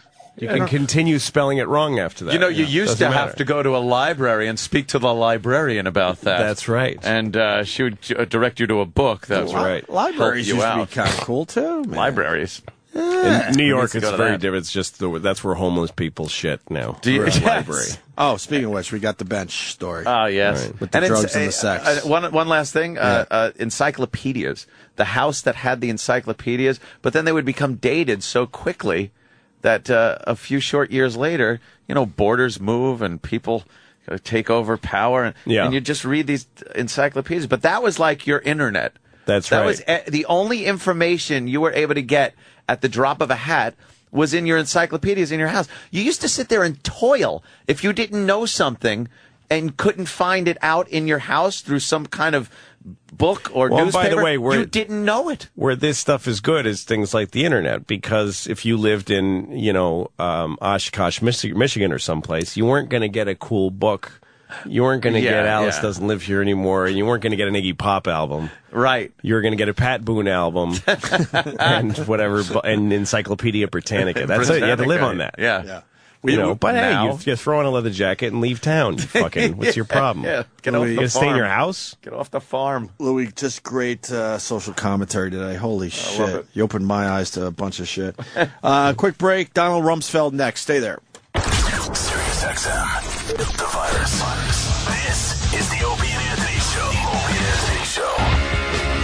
We got to go right to the phone Oh my God! Turn that music down, and welcome Donald Rumsfeld to the Opie and Anthony show. sir. Hello, sir. Yes, indeed. How are you? Very good. Very good. What a pleasure to talk to you. Uh, Donald Rumsfeld's new book, Known and Unknown, a memoir. Uh, I've been looking through this fascinating stuff because uh, you, boy, you have been a part of history in this country for uh, many years, known many presidents. Uh, welcome to the show, Mr. Rumsfeld. Well, thank you. It's a little embarrassing to discover that I've lived one third of the history of our country. One third, Third. the Wow. history, and and been involved in uh, a, a lot of uh, a lot of things that have gone on through history. Very Indeed. important. I want to mention that all the proceeds that I receive from the book are going to go to the troops and their families. Oh, that's nice. I thought what you were That going to is good. mention was uh, you know exactly where we live and to be nice. Oh, we, uh, Opie. it's not. Uh, where, where where are you right now? Are you just at home? No, I'm in New York City. Oh, Uh, okay. Last night I was on the Jon Stewart show. Right. Th- There was a. How, how did that go? Because Jon is a little uh, liberal, I would say. well, he he comes at things from that direction, but he is very smart, very quick. Yeah. And uh, it was a good discussion. I was pleased to be there. Yeah. Have you ever been interviewed where you got upset with how it went and then actually did anything to exact revenge on the person? Never. Why would he do that, Louis? don't. That's Louis C.K. Because you, you know, if you're a man of power, it's got to be an interesting thought at least. I well, could. no. What what what you do is you think to yourself, what might I have done differently? You've got to expect people to come at you because in our co- wonderful country, everyone can have their own opinion, and goodness knows that it, it, they can have intense opinions. But I find that if they have intense opinions that are opposite to mine, there's an awful lot of people who have intense uh, opinions that are very much like mine. Now you you have been in front of a lot of uh, the press over the years, and uh, you you've learned how to kind of deflect uh, certain questions and uh, handle uh, uh, the press. So I guess interviews are pretty easy for you. Well, I enjoy it. I think it's important that people, you know, put their views out there so that we have a competition of ideas and and the American people can sift through it and make their own judgments. Yeah, absolutely. When uh, when did you first get inside? And and by inside, I mean you know the kind of inner circle of power in uh, uh, the government, especially during the Cold War. Um, when did you just go from a, a, a military guy into becoming uh, kind of an enigma, kind of a, a person of power and, and on the inside? When how did that happen? Well, you know, I don't have any idea. I was a Navy pilot. I knocked on doors, got a job working for a congressman in Washington. I'd never met a congressman. And then I ran for Congress and served during the Kennedy and Johnson era. And then I was in Nixon's cabinet and Ford's cabinet and worked for Reagan as mil- uh, special envoy to the Middle East and then uh, George W. Bush's cabinet. Just It just kind of all happened over the decades, and suddenly I'm 78 years old. And- but so haven't you like how much? How does it feel to have? uh, You've probably accumulated a lot of things that you know that you'll never tell anybody on the planet Earth, right? Well, you know, not really. Uh, I, I'm interested in history. I love to read bi- biographies, which is one of the reasons I took four years and wrote the book and tried to discuss what it was like being inside and, and how the decisions are made and how complicated they are when they reach the senior levels of government. I also created a website, rumsfeld.com, where we've put hundreds of, of documents, thousands of pages uh, from throughout my life so that people can read them and, and check things in the book. For example, if I quote a paragraph off a memo in the book, you can go to the website and read the whole memo. Oh, okay. But you must have lived moments where you were like, "Holy cow! No one but me and these two people are ever going to know this happened," and it had a massive impact on history. Well, there certainly are times like that, but over time, almost everything comes out. Mm-hmm. And and uh, there are moments when what's going on inside the White House is is very sensitive and very private. Uh, but but within any reasonable period of time, the, the, the much of what goes on becomes public, and the American people look at it. Yeah. Do you do you look at uh, how do you see your your legacy um, based on on your your career with George W. Bush? Uh, do you see yourself as a fall guy? Do you see yourself as um, somebody looked upon uh, as evil? Uh, and and do, you think it affects what you've done before that? Because I I see you as a very patriotic uh, uh, guy that uh, served his country well and, and still does. Uh, but some people, uh, based especially on your experience with uh, George W. Bush, see you as uh, you know an evil guy. How do you how do you accept that? Well, you know, I I know who I am. I know what I've done, and one of the reasons I I've wrote the book was to try to get out there what the arguments pro and con were, so people can look at them. And uh, I I've taken on tough jobs. I've had to make tough decisions, And um, when you do that, you can expect people are going to disagree strongly. Uh, I, I, it doesn't come as a great surprise to me, I suppose, having lived so many decades. Yeah, were you disappointed though with the way uh, your uh, career ended with uh, George W. Bush's uh, administration? No, I think he made the right decision, and I made the right decision. I think once one of the houses of Congress went to the other party, the next two years would have been hearings, and you know, people would have tried to go after the Bush administration through me, Mm-hmm. and and I I decided it would be better for the military, better for the Pentagon, better for the president and the administration if I left. And President and I were very much in agreement. But doesn't that kind of leave you hanging out to dry, is what I'm saying, and, and, and looking bad, like you did something very wrong? No, I don't feel that way, and I don't think history will suggest that, and I Mhm. don't think that serious people interested in what went on, who go to the website and read the book carefully, will feel that way. I Yeah. these are complicated issues, and and um, we took on tough jobs. We we spent every waking moment trying to protect the American people, and we put in place some structures that, lo and behold, almost a decade later, there's not been another successful attack on America. Now that's worth something, and I think I, I agree. I agree with you. And uh, uh, the the book uh, "Known and Unknown: A Memoir" by Donald Rumsfeld. Uh, it's it's out there, and and uh, does this kind of open up who you are as a person? Because I think I don't think people really know you as a person. They see you and have seen you um, at press conferences and whatnot, and kind of see you as um, I don't know, a very mysterious uh, guy, and that kind of scares people. Well, I don't feel mysterious. I think what you see is what you get, and and uh, I think that that the book it does open up my life, my family life, my circumstance, where I came from, from a small town in Illinois. Went to college on a scholarship, and uh, was a wrestler, and a person who who loves the country, and is so grateful to to have had so many opportunities to serve. It's interesting though because there are people who think. I mean, here's a guy who, were you know, met Eisenhower as a congressman, right? I was running for Congress exactly. And and you know worked for Ford and Nixon and Reagan, and both Bushes, and there's still those people out there that think you know Rumsfeld and Dick Cheney are l- actually lizards. who I mean, literally, there's people that think they're lizards from outer space. yeah, that's true. Who eat human flesh? I don't know if anybody's ever asked you directly, sir, but are y- are you a lizard? I don't think. Are you actually? Can you just please give that a straight answer? Are you a lizard person? Louis a little him answer. left-leaning, No, sir. I'm not. I'm not. Here's Let him short answer. Are you a lizard? Here's the short answer. I'm in New York City. I walk down the street. People walk up, shake hands, stop me. They want an autograph. He's a lizard. Want to get a photograph with me. Go to eat last Uh-huh. night at dinner, and Joyce and I were sitting there in the little Italian restaurant. and and a man came up and said he'd like to buy my dinner, and I Yeah.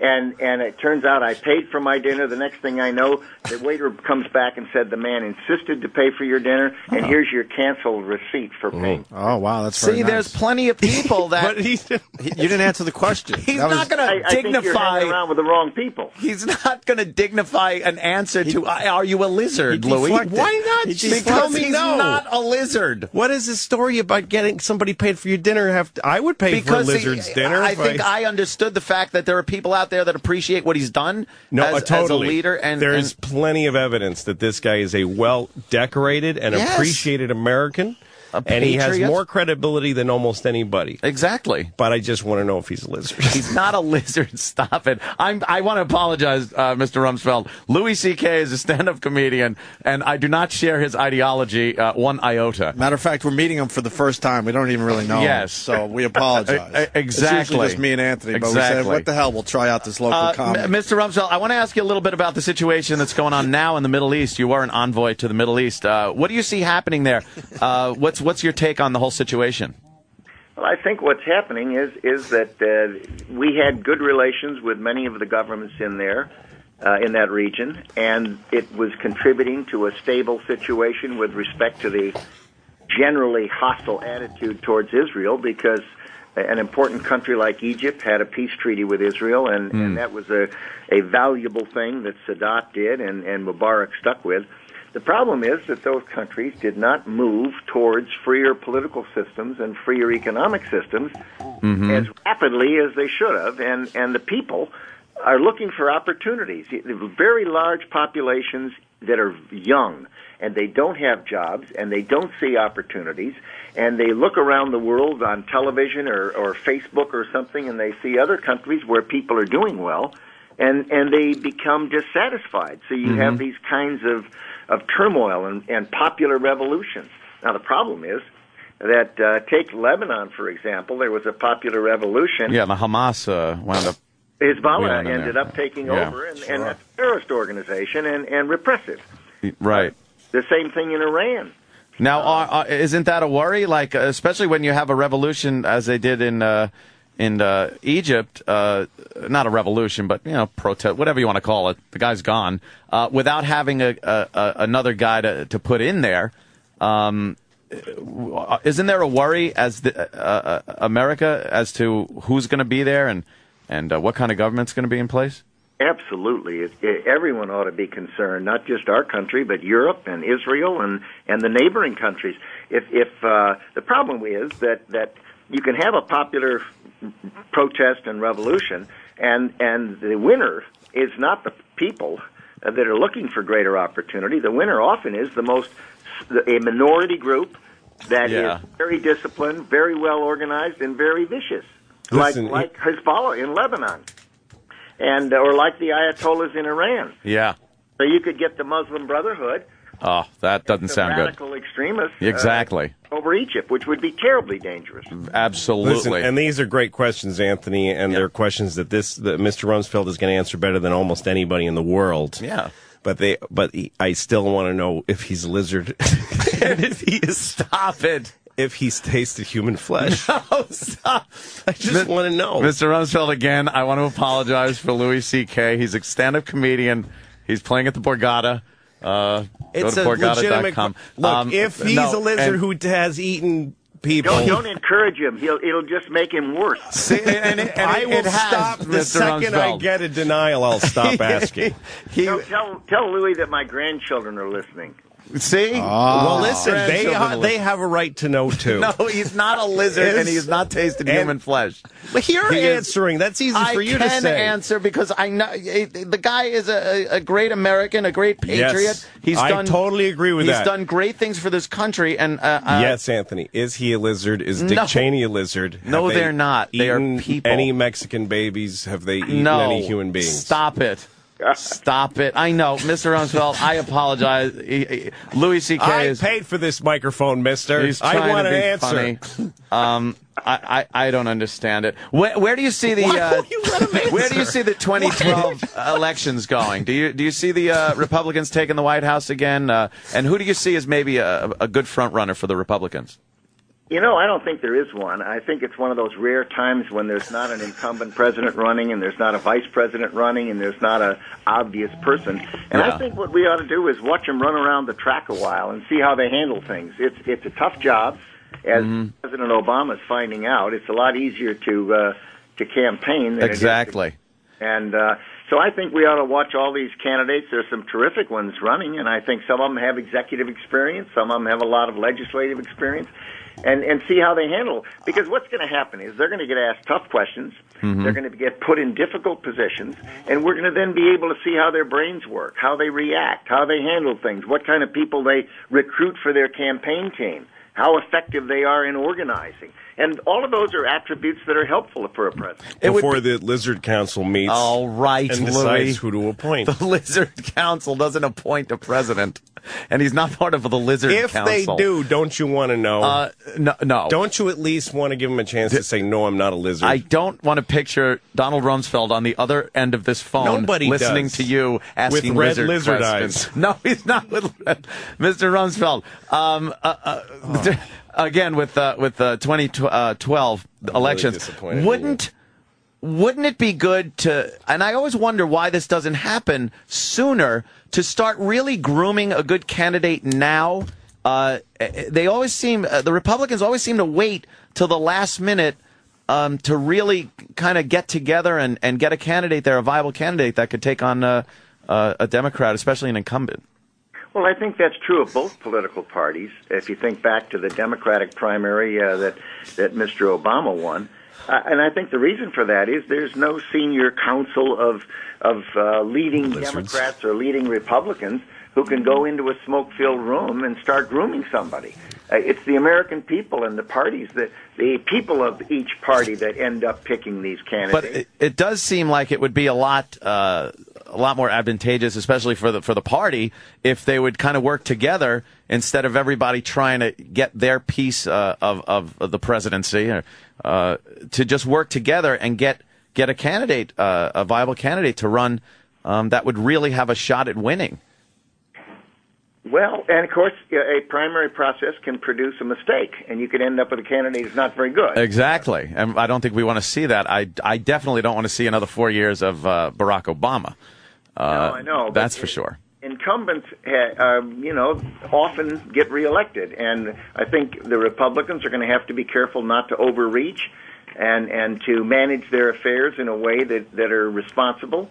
And yet address what the American people really care about. Mhm. And my goodness, uh, this this administration has served up a number of targets. H- how anyone can think that the budget President Obama put forward is responsible is beyond me. Yeah. The debt in this country is crushing, and it's going to damage this generation and future generations unless people have the courage to step up and deal with it. What was it like when you met? There's a picture of you shaking hands with Saddam Hussein. Like, what was that day like? The day you met that dude. Oh, that famous picture.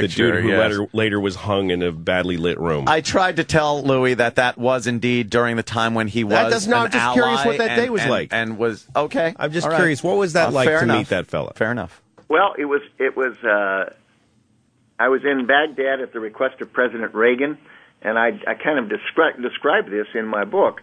Uh, I met the night before with Tariq Aziz, the deputy uh, prime minister, and then the next morning I, I was invited in to be with Saddam Hussein. And the reason that Secretary Shultz and President Reagan and I all agreed that it made sense was uh, Saddam Hussein was in a war with Iran Mm-hmm. and had taken our embassy people hostage and, and was very hostile to the United States. The United States did not have diplomatic relations with Iraq, and uh, the thought was that, that we, you know, the old adage, the enemy of my enemy is my friend. Right. How did we manage to get crossways with the two big countries in that region? Both of them. And yet they were hostile to each other. Right. So we felt that, that it was a good idea to see if we could reestablish relations, and that ultimately was done shortly after my visit. P- now, yeah. what was like? You walk in, there's a Middle Eastern despot. Is he Yeah. a good guy or a Democrat? No. He's a he's a, a thug, and he's in fatigues, and he's got a pistol on his hip, and he's a tough guy like and not me. a good guy. Uh, on Yeah. the other hand, people in Iran were worse. And and when you get up in the morning and look around the world, you know there are a lot of not, not a lot of George Washingtons or Abraham Lincolns. We have to deal with people who aren't perfect on occasion. Exactly. That's uh, what I was trying to tell Louis. And then, so how many guys do you think you've met that died by hanging? oh, Jesus. That's a good question. Yeah, more than one. More than one. More than one. See? I've never met anybody who. I met a girl who hung herself. He's but had- I never met anybody who was sentenced to hang. He's he's had to deal with thugs during his career at some point. Sure. He's uh you know Sure. the the world and a lot of people judge things. I've noticed, Mr. Rumf- uh, Rumsfeld. A lot of people judge things based on what's going on now. They don't take it in the context of the history and what was going on at the time. Now, uh, during the Cold War. I think we were willing, as Americans and the press, to accept a lot more covert action uh, on the part of the government for our own safety uh, than we are now. Uh, do you think that's a better thing that there's so much more information available now, or or is it a kind of a good thing for the government to have maybe a little bit of um, a little more uh, uh, uh, covertness in their uh, actions? Oh, I think you're right. I think that we, we live in a world where there are relatively few countries that Need are like we are. softballs. where Yeah. we have free political Yes. systems, and and uh, and that means that we have got to have uh, intelligence gathering activities if we're going to protect the American people. Exactly. But what, like, hey, American safety is like the biggest deal to us. American defense. We've got to keep the American people safe. How many, but what if a whole lot of people in other places have to die in order for us to be safe? Like, what if you found out that a lot of America was going to get hurt unless we just took France and just wiped it out. That's a Would you trade France? hypothetical. Would you trade France for for Texas and Arizona? Can you imagine if I answered that question? Thank you. what the Thank news you. lead would be? exactly. It, it would be like the, the answering your earlier question, where I would deny that I'm something that you asked. me. Right. He's not going to deny he's, a still- lizard. But he hasn't officially denied What it. would be what would be hurt by denying that you're a lizard? I, I did not just arrive in town falling off a turnip. there are no turnip carts in New York City. Well, he didn't fall off of one. No, I totally understand. But no, that's fascinating to me. What would be hurt by den- and I'm not going to ask you to deny it now. I'm more interested in what would be hurt if you denied that you're a lizard. He's justifying the question. Sorry, I brought it up. I apologize. no. But, but I mean, we like to think that we're a comedy show, so we're just kind of asking a, But a, but a I silly re- but question that there, is Mr. fascinating Rumsfeld. to me that if that saying I am not a lizard might be dangerous. I want to know how it might hurt. Wait, how would it hurt your credibility? This happened. How did this happen? There's a guy laughing in the I background know. that is looking up our addresses. now. Mr. Mr. Rumsfeld, notice that Anthony Cumia is uh, I true am, I am patriot. right behind you. I love your book, uh, Donald Rumsfeld, known and unknown uh, memoir. Uh, in bookstores now, this thing uh, really flying off the shelves too. I want to. Uh, I want to ask uh, Mr. Rumsfeld uh, his opinion on the unions right now. It's a big topic right out there. yes, Well, it is, and and what we've got is a government, uh, an administration that, according to the data, has fewer people who've ever been in business than any administration in modern history. And what you've got is a lot of people who are lawyers and and professional government people, and we they don't have the the business background. They have very close connections to the unions, and and I'm terribly worried about the the way that our uh, trade relations are going around the country. We, we are the president and the administration have been responding to pressure from the unions with respect to the trade deal with South Korea, the trade agreement with Colombia. Here's Colombia, an important country in our hemisphere, and and we've been stiffing them and and not. We're missing what's going on in the world. Mm-hmm. In in Asia, there are all kinds of trade agreements, and the United States is absent without leave. We're, we're not engaged and doing it. Mm. And I think the answer is it's because of the unions. And we're we're at a first point in our country's history where there are more union members who are government employees than there are who are in the private sector. that's a conflict if you ask me. Well, it's a worry. There's, Yeah, And I think it's also not surprising then to note that the average pay of government employees is now higher than in the private sector. that's uh, that's not right. And of course, That is not Why is that right. not right? What's Because it should it should be the other way around. well, of course, where the teachers are government employees, right? and the jobs and the products Sometimes. and the opportunities are all in the private sector, not in government. Right. But a teacher is a public employee, right? Is a unionized public employee. Yes, So they should be paid well, right? but it's not a matter of being paid well. Or It's- but they should have the power to get, get together and uh, bargain for better pay and better benefits, right? Well, if you look around at the school systems, uh, they are in trouble, and and they're not providing the kind of education for kids, and and um, so the system isn't isn't working perfectly. Mm-hmm. My wife Joyce started the Chicago Foundation for Education because the Chicago school system was described as the worst school system in America some years, 25 years ago Wow. And and and that's here's a great city, a wonderful city, and and it had a school system that the Secretary of Education labeled the worst. Now, why is that? Uh, it isn't because people are bad. It's because the process isn't working. There wasn't any choice. People didn't have a choice. They they paid their taxes and they had to go to school in their neighborhood, and and they didn't have choice. I'm a Milton Friedman fan. I think giving school vouchers uh, so that people can, parents and kids can make those choices. And pretty soon, the schools that nobody wants to choose have to disappear, and the schools where people want to go succeed because they get a good education. They prosper. Yeah, but American public schools used to be great, and now they're not. So for years and years, they did well without vouchers and charter schools, and then all of a sudden, money got taken out of those systems, and now they're suffering. And then the people that took the money out point at the system and go, "Ha ha, you suck because I took your money away." So now we're gonna. So what happened? Why, why? Why did they work before? I don't think that's the case. What you just said. I don't think that the the reason the schools are not doing well today is because the money's not there. I think that you look at the average price that that we're paying per per student or or per school, and it's quite high. it, it just isn't producing the kind of results that a more competitive system would. Mm-hmm. How come it worked before though? When it was simpler, public most people went to public schools and you could just go walk down your public school and get a great education. Like how come there's a decline when it was working without the competition? I think probably it was a result of the fact that we were uh, um, uh, more of a rural country. We we had much more parental involvement. Uh, there was more uh, smaller elements, and and then as we became more of an urbanized con- uh, country, uh, the the there was more distance between parents and the schools, more distance between uh, government and the schools, and and uh, they just deteriorate. And teaching the basics uh, of what people need to know instead of uh, a lot of political what? correct uh, uh, gibberish really? You think that that's are in the what- you schools now. that's what are in the I schools? believe that, Louis. Is teaching evolution? That's what hurt no, the schools. No, no, no. I'm not saying that. I just think that there's a lot going on in schools that have has nothing to do with educating the students and preparing them for life. I could be wrong, but I think there might have been one other thing. You know, for years we had the draft, and uh, we excluded people from the draft who were students, teachers, or married. And as a result, people who did not want to serve in the military kind of gravitated to getting married or having uh, becoming a teacher or becoming a student. And so over time, you had a, a bifurcation of a generation, and and that group is now just about retiring. Right.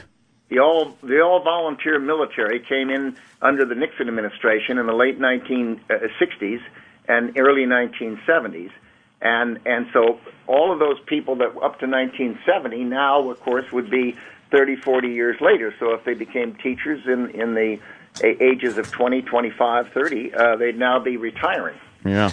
Hey, did, did he answer the question about unions? Are you for or against the, the Are you- unions, sir? What do you mean? Uh, I, I I've got no problem with unions.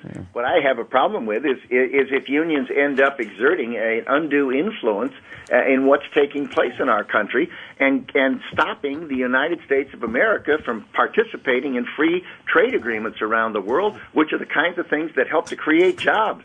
Yeah, that's not a good. But if the Yeah, jobs are in other I got it, places and what, I mean, if the United States is getting to compete, who is the United States at that point? Is it General Electric and and uh, you know Walmart, or is it actual people who live in these places like Wisconsin who are asking to be able to sue for their own rights as a union?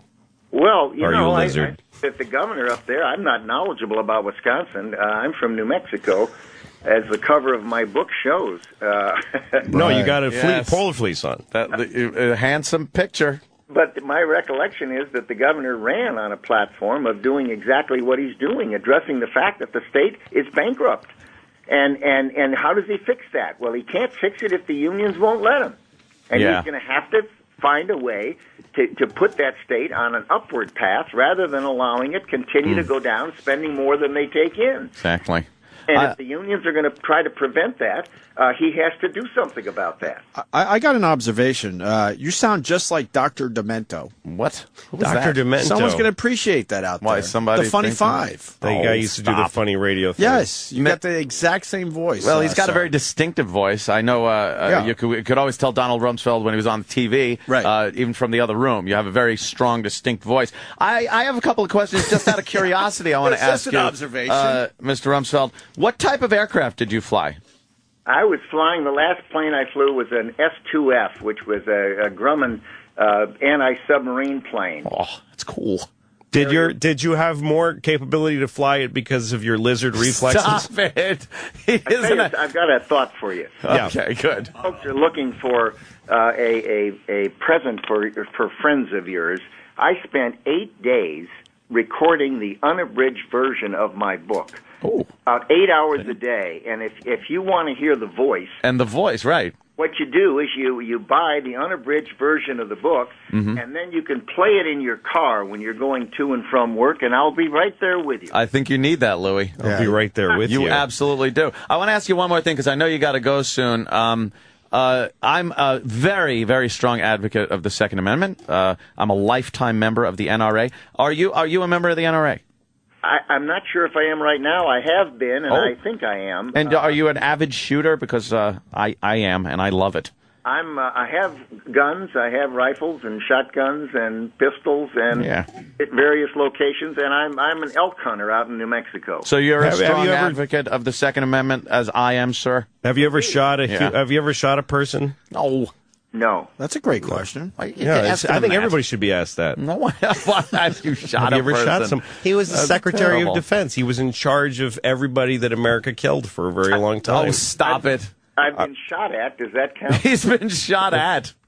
That's I was crazy. Right next to President Ford when the bullet went right by his head and right by my head into the hotel in San Francisco. Wow. Wow. Yeah. That was that crazy. Were you ever shot at with any broad. other besides bullets, like plasma rays or anything else No, that are no used space to take down Would you stop it, Louis? flesh-eating space lizards My God, man. Uh, who eat the poor? Donald Rumsfeld, Known and Unknown, a memoir. I suggest anybody that's interested in uh, the history of this fine country and, and the history of a, a patriot and this fine man, go out and buy this book.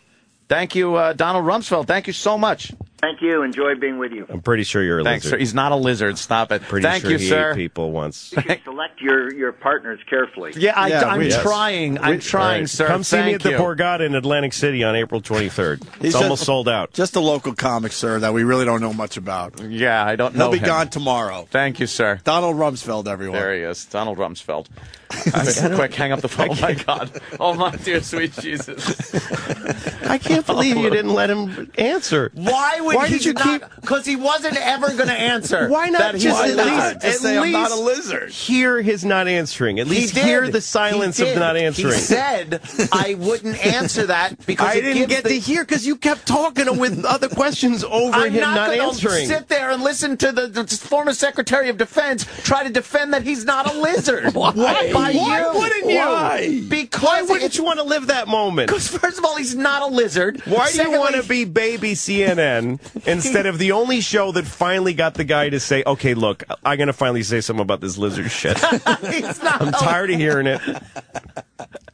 I'm not a lizard per se. No, he said he wasn't going to dignify it. He said he's if he said yes or That could no. have been a recording. What we just he could have just it could have been a dude Was it playing like guy? those like those prank calls. no, it was Donald That could just Rumsfeld. But the thing got interesting when we asked him if he was lizard. It put a hitch in his giddy up. You know what? He But we didn't handled it it. like a gentleman and like a professional. He handled it like a lizard who knows how to never answer. No, he said, "I'm not going to answer." Did you hear at because- one point, and I wish you'd almost play it back, the first time I asked it, and he told that fucking psychotic story It was a- about a friend, uh, some guy buying him dinner, and then, and then he said, "You're messing with the wrong people." He said that. Go back and play it. And then he bought me dinner. You're messing with the wrong people. And then I swear to God, he said it.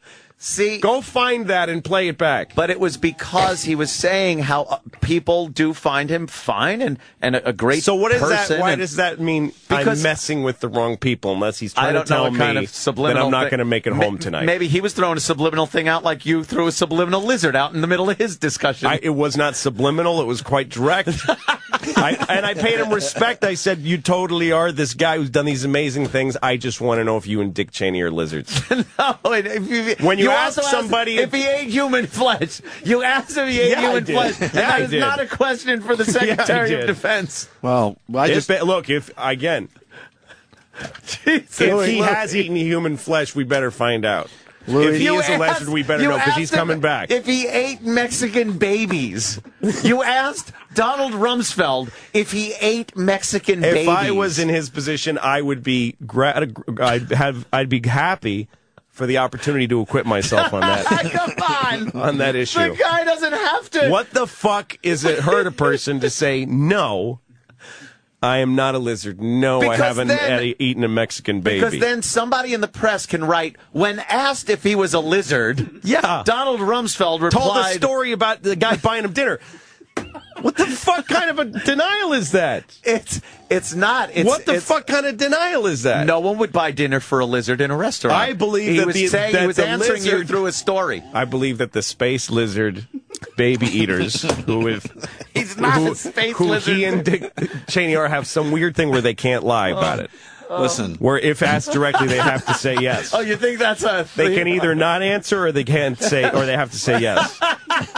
If So they, they- do anything. Tell a story about someone buying you dinner. So you're saying that there's something ingrained Yes. where- in the lizardness that keeps him from From saying, just saying no, of course not. They can't do that. Can't or- do it. His lizard head comes off and the red eyes come out. In, in honor of Louis C.K., I just tweeted, oh, answer the question, are you a lizard? Hashtag, are you a lizard? Louis C.K. wants to know. Pass it along. I really God. want to know. I can't. I just wait. want an answer, and I'm more, and I really was fascinated that he said, "Can you imagine what would happen if I answered?" Exactly. By the way, Could you imagine? I asked him if he would, if we could wipe out France to save Arizona and Texas. Would we do it? and he not said, "He's answer. why wouldn't you answer?" why would you? 'Cause the As answer- Donald Rumsfeld, why would you answer that? Because he may, ha- if the if, if he can't answer the question, that means he's he's had to weigh that and he may have to do it, and he may have to do it. The fact that he can't answer that on the same level playing as can't answer that he's not a lizard means that they're both viable questions. no, they are not. Yeah. Roland, do we survive?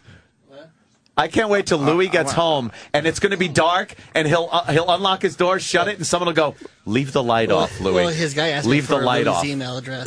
Yes, Did he really? yes. no. really, Donald Rumsfeld? Let me Leave, uh, leave say, the light off. let me say hi to Brian in Pennsylvania. Brian, Fellas, radio, that was, that was Radio Gold. That was a fantastic interview. And do you realize that you had one of the major chess pieces in world history? I mean, the last 10 years has influenced all of us as Americans. As. Exactly. No, absolutely. just interviewed.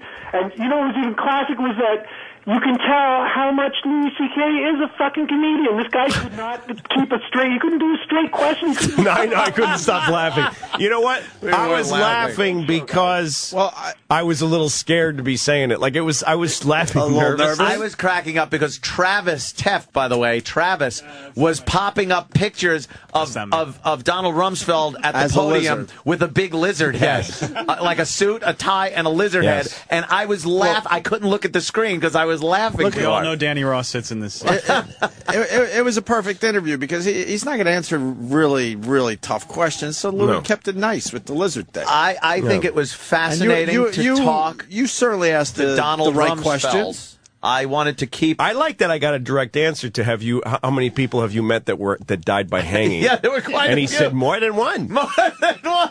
Very casual. That was, more uh, than one. That was hey, Right, yeah. right. huh? Well, well, Saddam is a biggie. Maybe Chemical Yeah. Ali. Yeah. You might have met him at some Might have met point. him. At one point, someone in the background was laughing. One of his people. Oh, so- one of his people started laughing. You We got, him, like we got in the, lizard comment. I got to hear it again. Oh, you no. got that? Yeah. Oh no. E-Rock. Oh no. Here we go. Yeah, play. uh, This is the answer with the dinner thing. All right, play it until he says you mess with the wrong people. I want to hear that context. Go ahead. The whole thing is a minute and a half. All right. That's fine. Where are we going?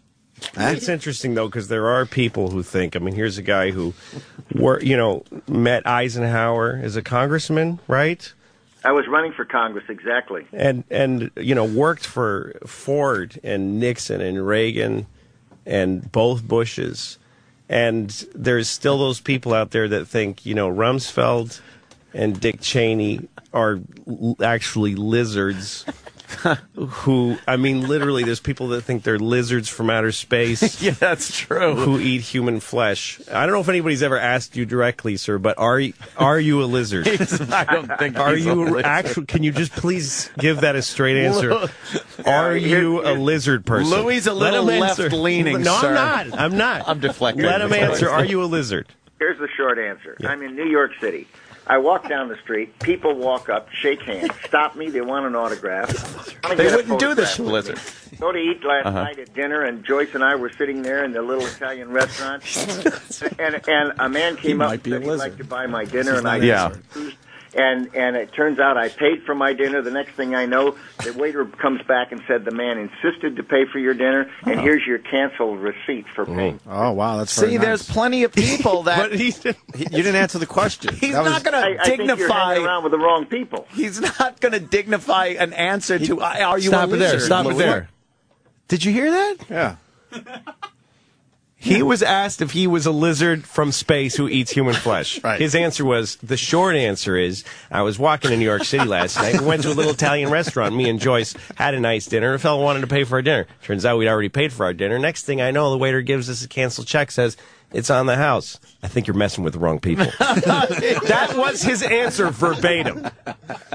That Or was his answer hanging? verbatim. I Did he think say he said you're hanging, hanging around with the wrong No, no. people. Uh, play just that last quote again. He- You didn't answer the question. He's That was- not going I, to I think you're dignify. hanging around with the wrong people. Well, even what the fuck does that even mean? He meant that uh, we shouldn't be hanging with you. Oh, is that it? yes. You're so dead. Somebody Louis. bought me so dinner it's last bad. night. It's You're still hanging for- around with the wrong people. It's still bad for you because he basically told us You're we shouldn't be hanging with You're you. so dead, Louis. because unless Oh you want to be God. collateral damage. You know what? You know what I say?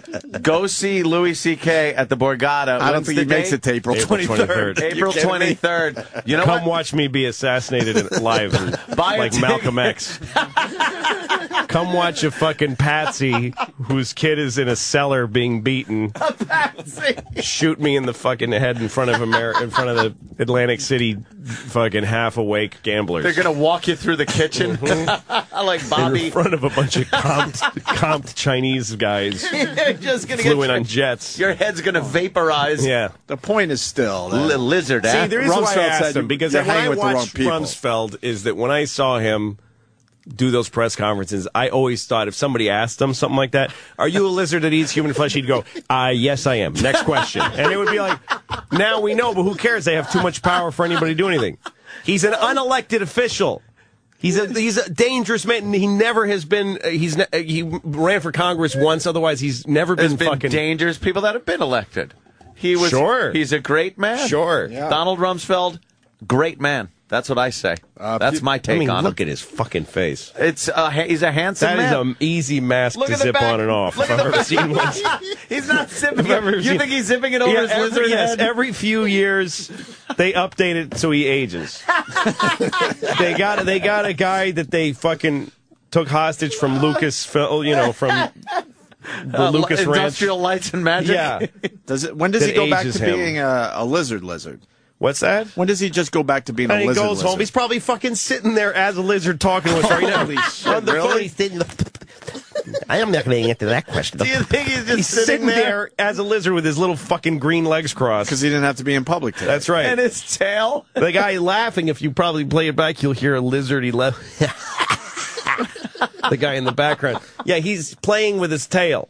Whatever lizards do when they're Twirling on the his tail on the phone, did, not even answering your, your Yeah, I'm not going to answer that. Get his phone. he's not a lizard. Uh, you are so You're hanging dead. around with the wrong people. Hanging around with the wrong people. What kind of fucking answer was that? I don't the- understand here's- it. here's the short It's almost answer. like if you ask a computer a, fuck, a question that gets underneath its program, and it comes And it back comes out- gibberish. it doesn't know what like it that's is. how to find out somebody's a robot. You're talking to them, and all of a sudden you say to them like lemonade dog sauce, and they go five, six, seven, eight, nine, twelve, twelve, twelve, twelve, twelve, twelve. That's what that was like. That's how Kirk used to get He, the, I'm the telling androids you, all the time. he, I'm telling you what happened. I'm going to tell you what happened. all right. He is a lizard who presses these buttons to answer questions. Like he's he's got a bodysuit that goes on when he does press conferences Right. that he runs ergonomically. Okay. But when he's a lizard with his body off, he can't talk, so he just uses this button. Oh, like, it's like a your, soundboard. like your fucking like soundboard. a sound machine or something. yeah, like No shit. yeah, Yeah, that yeah, kind of. yeah. He's got a Rumsfeld loaded one of those. Okay. And I said, "Are you a lizard?" And he went, "Oh fuck!" And he fumbled and he hit the "Tell the story about dinner" button. he told he tell the story that nice story button. Like when we hit the Like when they asked, sometimes. he has a Yeah. button. He had that loaded for like, "Have you enjoyed your time in New York?" Yeah, yeah. So what have you been doing in New York? Are you a lizard that well, eats flesh? Oh fuck! Ah, well, I went to a dinner. Shit. Here's a sto- short of it. I was, uh, di- and he's like, I can't just stop it now. No, he has to I gotta Yeah, let- can't stop I it gotta mid- let it roll. So yeah, let the whole dinner story. That's what happened. I'm telling you. oh fuck, Louis. He fucking- God damn, man. That was that was one for the ages right Uh, there. he's not a lizard, I don't be think. careful. but if he is, Be careful what you eat in the coming days. There, love. Yeah. Oh, you're gonna Be get careful. some fucking Yeah. rice and stuck in your I'm gonna side. only eat figs like Caesar Augustus. Fucking lived on figs till his wife painted poison on him. Uh, we should take a break, I guess. what do you Yeah, want do? please. Let's take a break. And and certainly getting props on uh, the interview there. Oh, so- it was a lot nice of job. fun talking. To, You well, actually- I had to be the straight Yes. man. Actually Uh, Someone had to keep him on the that. fucking No, phone. it is pretty artful how you're able to keep him on the phone after Yeah, those to questions. Just blurt out another question, and you heard me going like da da da da. Da, da, All I'm da. trying to think of is anything I can ask Wasn't him. that Reagan would- nice? Uh, what kind of aeroplane did you fly? Ah, Christ, man. All right, uh, we got Duff McKagan. He's going to Oh, check Duff in is next. coming in? Say hi to us. Is It's he been a a while. lizard? Good friend of the show. He's not a lizard. He can help you with stocks too, Lo. All right, good. I want to He knows hear, the stock I wanna hear market a little about uh, bit. what's going on with and other Apple. things. Uh, all right, are you a lizard? That's what Still we're asking. unanswered. That's what we're asking on Twitter it right still now. remains Unanswered. unanswered. Unanswered. unanswered. Enjoy that hashtag. Are you a lizard? One yeah. word. Opie and Anthony. Louis C.K. Borgata, April 23rd, man. God damn. What are you doing? Get your tickets now. He- you didn't answer the question. He's That was- not going I, to I think you're dignify. hanging around with the wrong people. He's You're listening to Opie and Anthony. Opie and Anthony on the virus. Sirius XM. Ah, fuck, what a day. Louis C.K. in studio. Louis C.K. on Twitter, and uh, Louis playing the Borgata April 23rd. Tickets are going to go fast, man, and he's hoping to add a second show, but that's that. It's not a guarantee yet, so get your tickets for April 23rd. Louis C.K. Borgata Hotel. We got Duff McKagan outside the yeah, studio. Duff. We Duff. should bring him in yeah. to join the program. Certainly. Come on in, Duff. What's he been up to? There he is. What's up, Duff? Duff. It's been a while. We're in the new uh, studio. How you been, man? Good, how are you? Good, good. Doing all right. It's Louis C.K. Hi, how Duff are you? Good, how you doing? Nice to meet you. You too. Nice meeting you. Yeah, Louis is a good guy. Morning. We like Louis. Yeah. He's going to be dead soon, though. No, no, he'll see. Yeah, what that's, yeah, there. that's cool. Yeah. Yeah, Donald Rumsfeld is going to have him killed. We're calling him. It might not be he a was- good day. He's a lizard. Yeah, you missed it, but you guys uh, got one of the five interviews or something? Yeah. yeah, right? yeah, Yeah, We yeah. did real well, man. Special. I don't know how he got that. Louis, done. Louis There's was no- he had no suggesting he was a business- lizard, man. Yeah, he, he had no business calling this radio no, show. none. So I really don't know how I don't he know. got him. Who, I think No. uh, was that Roland that actually bullshit. yeah, bullshit. because Imus is mad. Imus does politics. You know, Imus didn't get. Uh, Imus didn't get uh, Rummy, but we did. Uh, Opie and Anthony got him. Yeah, he's pissed off that we got him. Motherfuckers. Son of a bitch. Don't uninvite him from my party. right. So who else got who else got him? This is Us and Jon Stewart. Jon Stewart. I think. Yeah. That's really it. And then like the top whatever other And then, guys, like, you know, the, the news channels. You know, the Yeah. View. He was on the View. like a View and maybe a Fox type thing. he got the ladies on the View. Yeah. We got probably But- two Fox News. but we got to the bottom of it. Louis C.K. almost had him answer the question, "Are you a lizard?" Are you a fle- are you eating human flesh? Are you a lizard? yeah, almost. just- Asked him, asked Came him close. repeatedly, Did you? and he refused to answer yes or no. of course he refused. And now we're worried about Louis' uh, safety. Yeah, because he is Wow. Rumsfeld. Never answered. Rumsfeld insider, one of the inner circle guys. You better stay up on this floor and not leave. Maybe. No, for I'm a not going to be alone for a while. Oh, yeah, you are. I'm not walking public. with you today. He'll stay up on this floor until he mysteriously flies out a window. uh, Louis killed himself, man. Oh, he weird. seemed so happy. I and- saw, I saw, Found shot in the gymnasium at the Pentagon. I saw Sitting Lou- alone in a wheelchair. I saw I saw Louis in Times Square. and Someone poked him with an umbrella. An Very- umbrella, very and then strange months because it's not later even he and his body was full of salt water, and he was in the desert.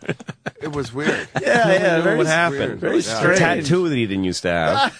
Oh well, and then Whatever. and then we'll go. Oh well, he'll be missed. His spleen is just gone. on. His spleen is gone, and- and there's no sign of surgery. It's not a surgery. We found a scale next to him. A Couple of scales on his- couple yeah. of scales and scratches. Is this your guys' way of catching me up on the show? Should Yeah, oh, sorry, yeah, no, sorry, right. More lost. sorry. Yeah, Ah, I don't apologize. even worry yeah, about it. well, Yeah. you know. What's going on today? What's Gaddafi doing and all that stuff? I- Uh, you know, I he's just- he's still um, uh, defiant, I guess you'd call it. Oh, he's defiant. Yes, he's Yeah. defiant. I think he's trying to kill as many of his people as he can before he gets uh, killed? before, yeah, he gets out. Well, it's like a that makes stratego or something. yeah, what do you think about that whole thing?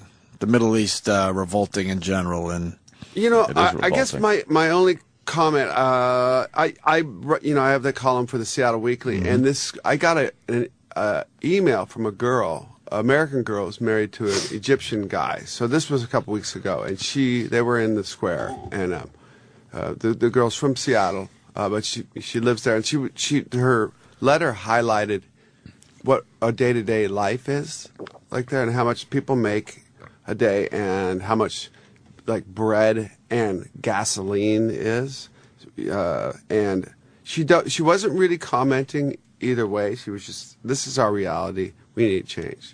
Um, and um, it's kind, you know, I played. Uh, my only experience really, I've, I played in Israel and I played in Dubai, and I played in Dubai about three years ago at the Desert Rock Festival. They're, they're really trying to do like a rock festival, and the kids they come from Iraq, Iran, Egypt, India, and they're starved for rock and roll. And kids rock, uh, uh, kids are just kids, and you know these are twenty something year olds, and they they want they want rock and they want to talk and they want to exchange ideas. And uh, very very uh, um, eye opening um, to, to see you know I mean traveling in a rock band you see that people are just people wherever you go Mhm. and the people don't, aren't necessarily their government Mhm. you know just like you know Mm. me touring I wasn't one of Bush's cronies you know when I I was. I'm, a- I'm a free were. think, I'm a free thinker, and there's a lot of free thinkers around the world. So, so I guess uh, these, I don't know. You know, my take is on the, the, the young youth of those areas are just a little sick and tired of it. Yeah, but you know what? They, you throw the leaders out, and then the youth isn't in charge of who gets put in next. Well, no, It's that's the- other- that's the problem. It's, it's Donald Rumsfeld. Right. He's he's- Rumsfeld will decide. He's No, deciding right now. No, he's cloning a pot of Oh, yeah. himself to go there now. He's to be brewing new up some Egyptian sort leader. of uh, yeah dictator stew over there. Yeah, for his sure. lizard friends will Yeah. be in office over there. Yes. yeah, that's a good no, point. The, way the, the youth but- can't Sorry really. to keep digressing, but Yeah. and when you We're asked him about about the primaries and stuff, he said you can see how their brains work and you can study them. he said that about learning about the candidates. You can see how their brains work. He probably literally has Yeah. like seen their brains Yeah, yeah, working 'cause he and dissect them. open them up. Yeah. Sorry, That tough. was, we're uh, very. It, it was just really fucked up to have uh, that powerful a guy. We've like, never you had know. a guy like that on our show. It's, no uh, offense to you and Louis and everybody else, but that's that's Yeah. a that's a powerful guy. Yeah. he's had people killed. Well, how, Have you ever had people killed, Duff? Naturally? Yeah, of course. Come on. Um, so how what do I gonna follow up Donald Rumsfeld? yeah, You it's know. not the best spot for you. How about I'll be uh, honest with you. How about uh, throw a curveball in there and uh, ask you about a couple of things about the stock market? stock market. Yeah. You What- invest? what- you invest a lot? Are you bullish or bearish right about now?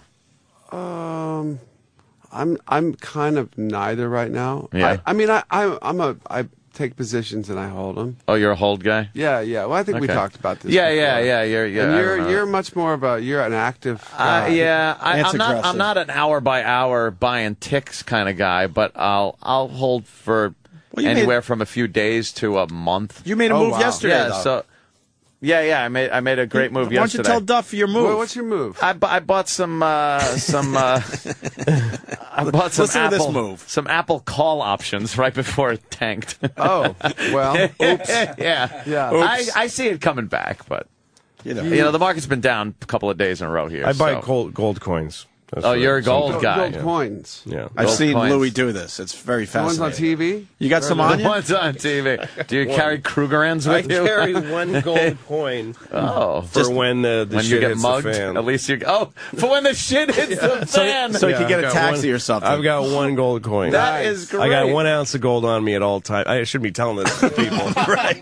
Why am I saying this? I, I am always carrying an ounce of gold. You really don't like if your you hit me on the head, it's worth it. Guaranteed at least fourteen hundred dollars. I'm getting the impression, Yeah, and It's I'm getting the impression Louis doesn't like his life. Yeah, I know. Oh, that's a Canadian. Asking, uh, asking gold, Rumsfeld which is if he's a lizard uh, and carrying around gold coins, that means Yeah. about you heavy really gold I know some Gold. heavy, right? No, gold coins are Gold nice, is and you nice get and to heavy. You slam Yeah. it down. You s- Hey man, give me a good farthing of whatever. Yeah, yeah it's a real. Give me a satchel of that bit is great, by the Yeah, way. The yeah, whole yeah. payment, vague Oh, that's what payment made me payments. start liking gold coins. Yeah, well, it's a good thing to have, Yeah. especially in this day and age. right. The world I come from, you know, it, like was so, uh, especially in my twenties, was so sort of insane, and, Mm-hmm. and rock and roll is so up and down, and there's enough chaos and roller coasterness in rock and roll. Yeah. That uh, and you know, my I'm the last of eight kids. My my parents grew up in the depression, and um, uh, so I learned a lot. I heard the stories, heard the you know, just kind of learned the lessons, and there's enough chaos in my life that I really found when I went back to school in my 30s at business school that uh, I was really like uh, that rule of sevens for me. Um, Seven percent every seven years, you double your money. That really stuck for Huh. me. So I don't. I, I really non-aggressive Yeah, portfolio, yeah. Mhm. and uh, and I don't lose any sleep, and um, I, I hold positions. I held through the whole 2008. Yeah, all that. Uh, you know when when I when was that like, tanked, yeah, and everybody put it everybody. all in, you know, take it all out and put it. You know, Just I, I leave didn't it. do it. Don't Yeah. look at every now, your problem, like it's. Anthony, is that you're a blackjack player. Yes. And the problem with blackjack players, is if you just sit there and win twenty five dollars every hand, then you're going to be a millionaire if you're just patient. That's great. And when you lose, you're only going to lose twenty five dollars. But which you you start like thinking that you're good at blackjack. It's like casino. If when you they- win three hands, you think it's due to Yeah. your eminence on Right, earth. So you go fuck it, ten thousand dollar hand. I'm like, I I don't consider it winning 25 bucks. I consider No. it losing nine thousand nine hundred and seventy-five dollars. That's right. He's been known to do that, Doc. because he didn't beat bet that. He's done some uh, pretty crazy hands. I've done crazy hands, But you've Yeah. done you've done okay. You're pretty Yeah. smart about that. aren't? I, I'm not. I, you know what? Here's here's Are what you people up? don't understand. I think I was until last uh, time out. Wow! By the way, go to the go to the Borgata. Enjoy the Anthony Cumia wing that they've uh, they've installed there when you go see Louis C.K. at the Borgata. Wow! Uh, no, it was a biggie, but uh, but I How much did you lose? Will you tell me? I don't talk. Fi- I'll tell you off the air, Okay. but I don't like talking figures on I the air. understand. because you know, f- I understand. right there. The guys like that. Imagine if I answered that question. yeah, that to me, to me, answering that is like him answering the lizard question. Yes. I just won't do it. But uh, p- see, I Did, don't uh, think a lot of people Rumsfeld say understand. anything like, uh, "I'm, I'm, wh- what are you doing, Don, Donald? What do you call him? Uh, Mr. Rumsfeld, I was Okay. calling him. Uh, D. Could should have called Mr. Secretary. Do- Are you? uh, Did you say anything like, uh, "Are you pimping your book"? Is that where? Is that was he Uh, pimping his book? Is that no, what's going on? I, I was trying like, to sell books. I was saying uh, that his book is fantastic, even though I have not read it yet. Oh, yeah, but you- uh, I looked at the pictures. Oh, you did? Uh, yeah, and I even read some of the words under the pictures. Is there any like childhood pictures? Oh yeah, yeah. There's uh, his little egg. they have a picture of him when he was just in his egg. Yeah, when he was just an egg in the in the sand. Yeah, in the sand. buried in the sand. In the sands of Mars, in the red sand of Mars, when he was an egg. No, there, there really is no childhood pictures. When he there. was an egg in the Uh, sands of. Mars six thousand years ago. He should have put some pictures. Martian like, uh. He's got pictures. It Well, would have. oh, like- as a like, child, right? You know, like Childhood pictures would have made it more endearing, right? Yeah, when he was a teenager in They're like, Mesopotamia. this is my uh, yeah fashion faux pas when I was 16. You know, Yeah, something like that. I You know, way in back. college. When the hell was he born? How old is he? Uh, that's he a said 78, I think. Yeah. Duff, what are we promoting today? What, what do you? What brings you to New York? well, I got uh, the Loaded has a r- record coming out. Oh, right on. Um, uh, April 19th. It's called The Taking. We're making a movie. Really? For it. It's pretty damn hilarious. Right. Yeah. Our, our drummer gets kidnapped. figure, too. And all happens in one day, and and uh, uh, it's a madcap. Uh, Comedy. well, of course. But it's it's really. Oh, thank you. Coffee delivered. Yeah, Starbucks. You guys do it all We're not right happy here. with Starbucks. This is real good. He No, he but- remembers when Starbucks literally was a local fucking Right, when it was a pop Pike. Street, when it was a cool Where's thing one? for a minute. There was right? you remember when there was one? They at the market. Yeah, Pike Yeah. Place Market. Uh, so- And at the time, they had to compete with all a bunch of other kids who had their own like little coffee There's coffee kiosks. house. there was more those kiosks on the streets that you used to have. There was one. There was the the one under the the monorail. That's Right. the original. That was the first sort of Starbucks. Walk up. Um, no, that wasn't before Starbucks. But uh, there was just like a lot of little coffee. But. Louis, I remember we should ask him because are because you we. from Seattle? No, I used but- to play. I do stand up, so I Yeah. played there a lot in my youth. But we should youth. There's a couple of shitty comedy clubs there. we should they ask were him. shitty. You know, Giggles. I don't know if you ever. Yeah, I played Giggles. Yeah. Now you know it just turned into What? Jiggles. It's a it's a uh, strip club. Really? Just giggles to God. jiggles? They just had to change a letter. It You was know very what? inexpensive. That's really sad about comedy. I don't know why because I One think, letter away from a fucking strip joint. I think that place did pretty well with comedy. Giggles was there for years, and I worked for one guy who owned it. And uh, I came, I was a young comic then, and I was headlining. And I did the first show was Tuesday. You had to work like Tuesday through Sunday then. And so I did the Tuesday night show, and then Wednesday morning he woke me up in my hotel like at 6 a.m. And he says, uh, "How do you feel it went last night?" Wow. And I said, "I thought I did pretty good. He goes, I didn't feel it, that the audience respected you at all. Wow. At He 6 a.m. he did Yeah. this. And I said, What are you talking about? And he goes, You don't wear a jacket. You're on stage in a t shirt.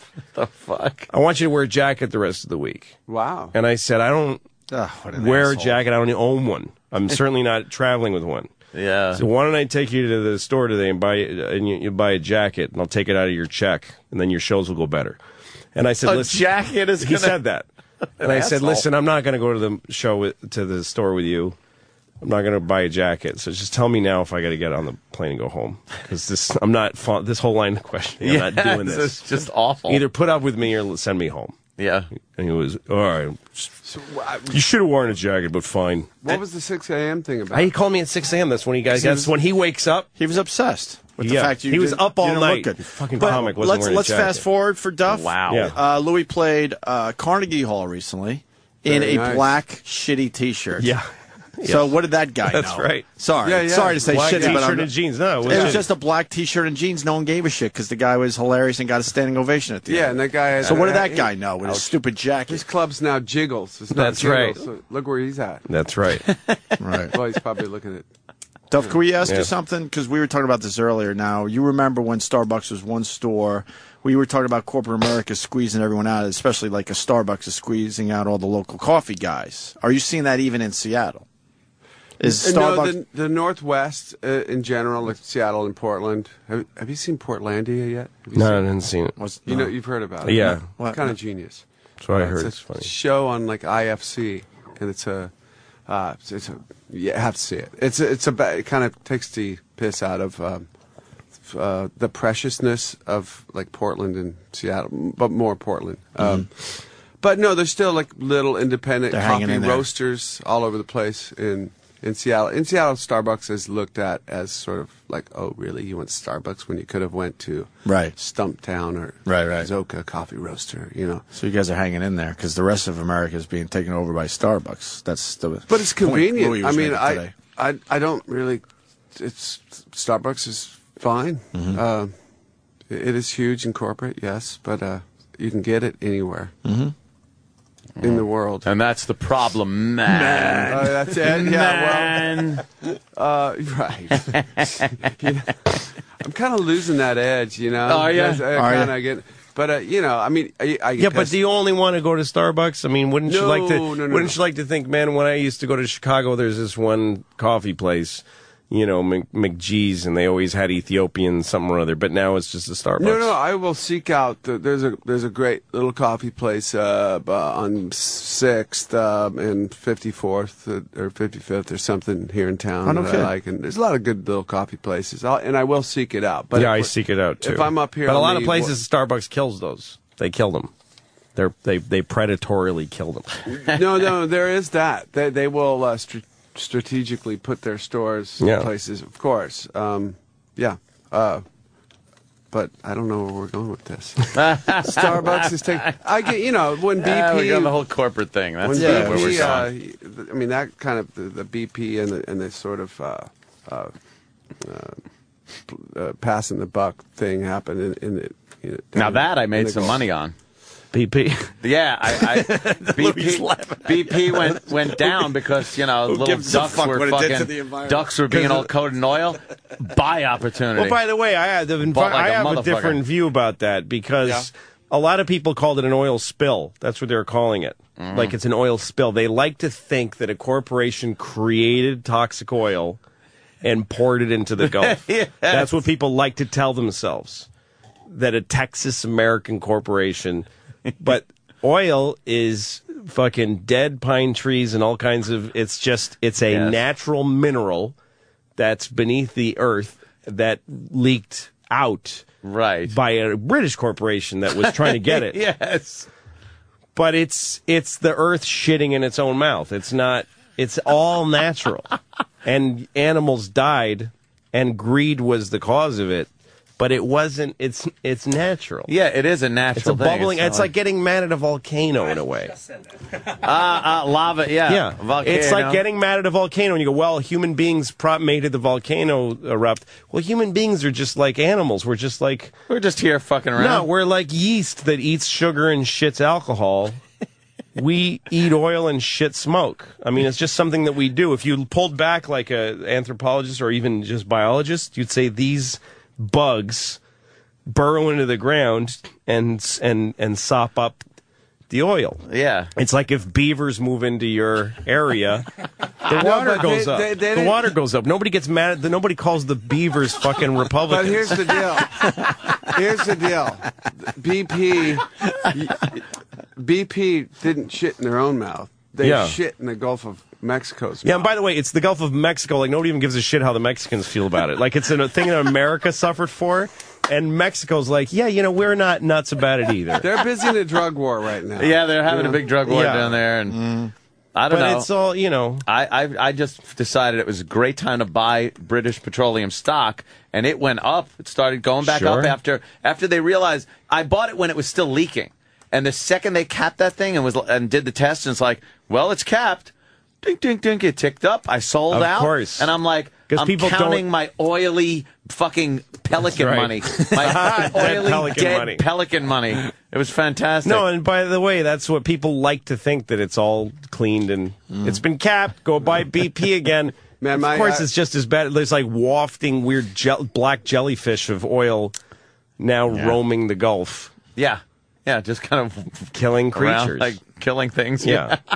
Uh, I know uh, Yeah. a couple of my buddies are two of the uh, guys on the on the Northwestern, that deadliest catch Oh, yeah. crab boat, and uh, they say even now crabbing up in the Bering Sea they get Valdez oil that they run into. still, Still? yeah, Yeah. like a foot thick. They'll Wow. pull up some pots and it's, they're just coated. Wow. Yeah, it's still in there. Makes them real tasty though. The, The the crab? legs. Oh yeah, Yeah. that oil Really? seeps in the crab legs. Nice and moist. Oh, it's fantastic. Yeah. Nothing better. wow. Duff's like, God the bless fuck? those guys because uh, those king crab legs are great. They are tasty. just They are, yeah. fantastic. And then you watch the show and you're like. God, I really got to appreciate when I eat these because people are more? literally dying uh, from. Uh, actually, uh, what's his name? One of the Justin- guys Justin died. Tennison. They found him in a hotel. found him in a hotel. Hope that's not the Uh, guy you knew, Duff. No. Jared. Oh, Yeah, he was. Um, One of the guys, they found him in a hotel room. kid. They, yeah. Which ship was? Which one of the boats? He was he on the sure. uh, Captain Phil's boat. Yeah, was it Um, Captain Phil's? The uh, I yeah. don't even remember. Shit, I had. it You know that's that's all uh, sort of close to home. All that stuff. that was great. Oh, I would imagine. Yeah. Like So, uh, so Loaded has a record coming out in April. We're we're going to uh, play South by Southwest in a couple weeks down in Austin, which Nice. is a really killer, great event. And uh, we have a we have a new record company that's just completely excited about the. No, I'm sorry. I was just laughing that Lou, Louis found out how much I lost. Uh, And said I could have set up a scholarship fund that would have lasted generations. That's, he could have done that with the money he lost in Atlantic City. Hey, Wait, are you texting him? generation? What's that? No, I wrote No, that. he wrote him. it Because down, I like- asked him to tell me how much he lost, and he, so he wrote it down. yeah, for me. yeah. Oh, Yeah, wrote I it wrote down it down, for me. and and I could have affected an entire generation. No, he would have had people like getting choked up when they said your name Yes, yes. because of what Inst- opportunities you created for them. Instead of me and this, spitting by on the, way, floor, walking away from the table. Where the, to me is the big hole in all of your your conservative politics, Right. Because I've heard you say I listen to the show all the time. You know, when I'm not, I I go when I'm shooting my show, we start working at So you're up in the early, morning. I'm always listening. Turn on the show. Yeah. And I always hear you saying stuff about like if I if I have to pay more taxes, then I won't pay a worker to fix my house. Right. Like I if you don't let me have all my money, I won't be able won't help afford- other Americans. You can't hire people. But it's such bullshit because if your taxes go up, that's not what curtails your spending. What curtails your spending is losing a shocking amount of money playing blackjack. But that's and that's part what of most my Americans their enjoyment. Taxes aren't their real burden. It's their fucking own stupid retarded spending. Right. And they their wife is like, "Where's the heating? You know, should we pay the gardener now?" And they get a cold sweat. Oh fuck! I bought. I bought a, I bought a fucking Stretch Armstrong for, for six thousand dollars on eBay. but that's my decision with my money, not Yes. some, not the gov- not the government's decision with No, my money. Yes, but you don't get to say that the government made you not pay. They- a contractor by raising your taxes. They You- make me you pay money. Throw your money actually, away. Actually, me and Opie had to talk about this, and I want to set the record straight as far as this whole tax thing goes with me. it's not even so much paying the taxes. I understand it. We eat it. We all have to fucking do it. Yeah. And I'm not going to be like, oh my god, I, I I can't do something because I'm I'm overtaxed. I despise watching anyone on the news and whatever saying that the rich, the wealthy, where I fall into that category, Yeah. uh, aren't doing their part. Well, who says that? Every fucking Democrat and liberal is saying, well, the rich have to do their part. I've been doing my fucking part really for years. I've never heard I- that either. Oh, please. Let me That's what you Fucking hear. That's what, that's what you hear. You're It's like, you know what you're like, and this is what the what No. conservatives are like. They're like uh, paranoid girlfriends. Yeah. Where if you say, "I'm not crazy about how you said that," why did you just call me a cunt? What? I didn't call you. a No, cunt. That is a I direct. just asked you to treat me a little bit. There are direct quotes from Yeah. people saying that the rich, the wealthy have to do their part. They're not doing their part. Yeah. They need to do more. Uh, They're getting too many breaks, that- whatever. And when I Mm-hmm. write a check to pay my taxes, I'm thinking, Do you really sign the checks? I'm thinking, yeah, I actually do. Do you write them out and sign them, or are they pre-written by write, our- I write them out. Really? It sucks. Yes. I write them out. You don't have an accountant? Yeah, but he doesn't write them out. I just sign. He just You tells gotta me get. how much. I to don't. pay. I don't even sign. sign them. He tells me how I don't much to even pay. sign them. See, that's, Really? that's brilliant. Until they That's rip why- you that's off. why I'm a Until liberal. That's- you're going to be so They're going to fucked rip one you day. off one day, though. You're Yeah, you I gotta know. sign your own checks. I know it's worth it. It's been I've I've, I've If stored Billy away Joel- enough years where he hasn't fucked me. if if Billy Joel could get fucked, Louis C.K. can. Dane, Dane's old own brother True. Yeah. fucked him over. But Billy Joel's what? Uh, brother No, my- was Uh, it? Yeah. I've been with my guy for since ninety something. Yeah, well, one day he's gonna realize oh, I love that him. he he's not At, he's, at this well point, anymore. he kind of deserves it. You know, there was a guy. If There, he takes my money, he kind of deserves it. He floated me for many years. There was like, I remember one year where I was like, "Can I?" Like I got, can come on, I want to buy one of those, and he was fighting me over something I wanted to buy. And Oh, he wow. Kind of, he politely blurted out, "You know, I, you haven't paid me in a year. oh, like shit. I, I don't take money anymore because you're barely alive." My, you the partners of the firm have had- told me to dump you several times. Wow. Good point. Stop telling me you want to buy a fucking, you know, Rolex When when, we haven't haven't been we haven't me. taken our two percent in a year. Over a year. You asshole. So at this point, if he rips me off, he's got it coming. There are people that were with Bernie Madoff for like 17 years. Sure, and 17 good years. And, and 17 great years. Yeah. And then just got fucked. That's right. So, you know, I, I guess anybody is Would you take that capable. deal? Seventeen amazing. 17 good years and then Amazing, fucked? amazing. It all depends on how old you are when that ends. That's true. When it If starts, you're fucking You know what? It's a pretty 80, good deal it. for the victims because they're not much better off than he is in terms of they they fucking did the same dumb corrupt thing. They just their Yeah. crime is they didn't care or want to ask. Right. Mm-hmm. Mhm. But he gets to be the lightning rod. He goes to jail and they get to go oh and start again. At least they get to start again and they're free. Start over again. They're free. Yeah. But he Jail. goes to jail. You got to think Yeah. a lot of those guys kind of knew something wasn't right. Something right? was up. You got to think that. Definitely. Hey, I got one question for Duff, one GNR question, and I apologize ahead of time because I try not to ask you guys the GNR questions anymore because Slash goes, "Oh man, come on." But there is like a weird rumor. Well, as long as you're still doing the Super Bowl and playing, you know, Well, there's a- playing the one riff and then going back down on the riser, Slash had a then, good he, gig. then he needs to answer he, the question. he did have a good gig at the Super Bowl, and, and that's Came up, played that uh, one riff, that's- and then back down to some quiet room with an intern. Am I done? you know, goes back under the field, and there's some bored-looking Texan kid there. Can you imagine? I think that's it on his headset. Yeah, I think that's it. You can go Yeah, home. You're done. Is that a Texas accent? What's that? I don't know. Yeah, that's it. Ima- I imagine think you're done. You can go ahead and get back on the go. shopper. Imagine the check he got for that. Though. Oh yeah, that's Holy what I was. crap. That was the But easiest money anybody There, ever earned. there is a rumor of a. Uh, And also, by the way, he might not have been Slash. I mean, he's got the hat. on and I'm not even saying that they fake Slash. I mean, that. Slash could have sent a fr- like, you want to do that for me? Yeah, I'll give you twelve thousand Yeah. bucks. You know, there's Go no- do it for me. There's no money in the playing Super Super Bowl half. Oh, really? No, no, it's They a, don't- it's a uh, just a uh, Just an honor. the, yeah, Oh, they the pay all exposure. expenses and whatnot. Mm-hmm. Yeah, and and it's sort of just like I didn't you know promote that. your thing. your Yeah. project.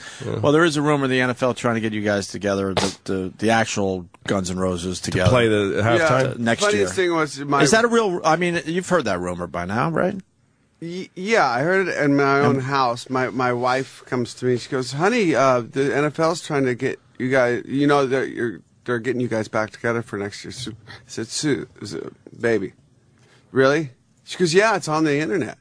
I'm like, Honey, it's, you're talking to me. Let's break away from the internet and get back to reality. No, but it's right here on TMZ. Yeah, exactly. no, you don't know yet because it's on. T- you don't want to look at TMZ. That's our culture, though. It's Yeah. hilarious. She's Yes. living with the guy. Yeah, yeah, yeah. You have to break the cut the thing. Actually, and- turn your head away from Yeah. the machine. It's me. Look Hello. at the person that you're talking about. you could about. trust me, and you could trust me what I have to say about 14 this. years together. You know, we're, we're good. Like, Wow. um, so um, yeah, no, I it's just it's just rumor and and uh, wild rumor. I remember when Guns N' Roses broke, and I, I was in high school, and I was a senior, and the kids, freshmen and sophomores, started listening to Guns N' Roses. Guns N' Roses is the first band that I had the experience of saying, "Young, what are the young kids listening to?" Like I was, Oh, really? uh, a senior, but I was like, "What is that?" Because I didn't know any. But me and my friends were listening to Led Zeppelin, and Van Halen was like where we were at, and then freshmen and sophomores that had weird haircuts and were kind of fucked up and they were listening to this Guns N' Roses, and I was like, "What the fuck is that?" Like it was so different to Yeah, me. it was way It above was everything so else from out. the gut. Oh, so from the gut. Like you Oh, could hear every string of the fucking guitars. Like they just, it was such tightly wound. But I went nuts for it. I, f- I, I loved it. I, That I still. I still, every time I hear it, I still freaked go out. I remember that, yeah. It really it is l- rare when because rock and roll, especially by the '80s already, was such a fucking oversaturated. Every every color of the spectrum's out there. To have a sound that people go that shakes everybody, you know, Yeah, it's rarely great. happens. and it's weird to be. I mean, for me, you know, to be sort of, you know, to be inside of the thing and not being able to experience it from anywhere. You're not getting else, to be a Guns N' Roses fan. You didn't get to be. A, Yeah, you you know, to be a fan. like y- Slash, you know, at this, you know, it's so sort of iconic in some circles. Like Slash's ha- top hat could have come up on that pedestal, and people Yes. would have went crazy. Yeah, you know, exactly. without even him That's how it. big the deal is. So, uh, Yeah. Just that. So it went from us being like you know kind of street urchins, really. Right. Just a it was a band from the from the gut from the gutter, and, and uh, five guys. That that's all we had was Mm-hmm. this music, nothing else, and and it was that or or kill somebody, really. And, Yeah. uh, um, it- Well, it's like the Beatles coming out of Hamburg. Like that's what made them great was playing the rough rooms. We have beer thrown at you. Yeah, yeah. You're wearing leather because it's actually protecting you. yeah, right.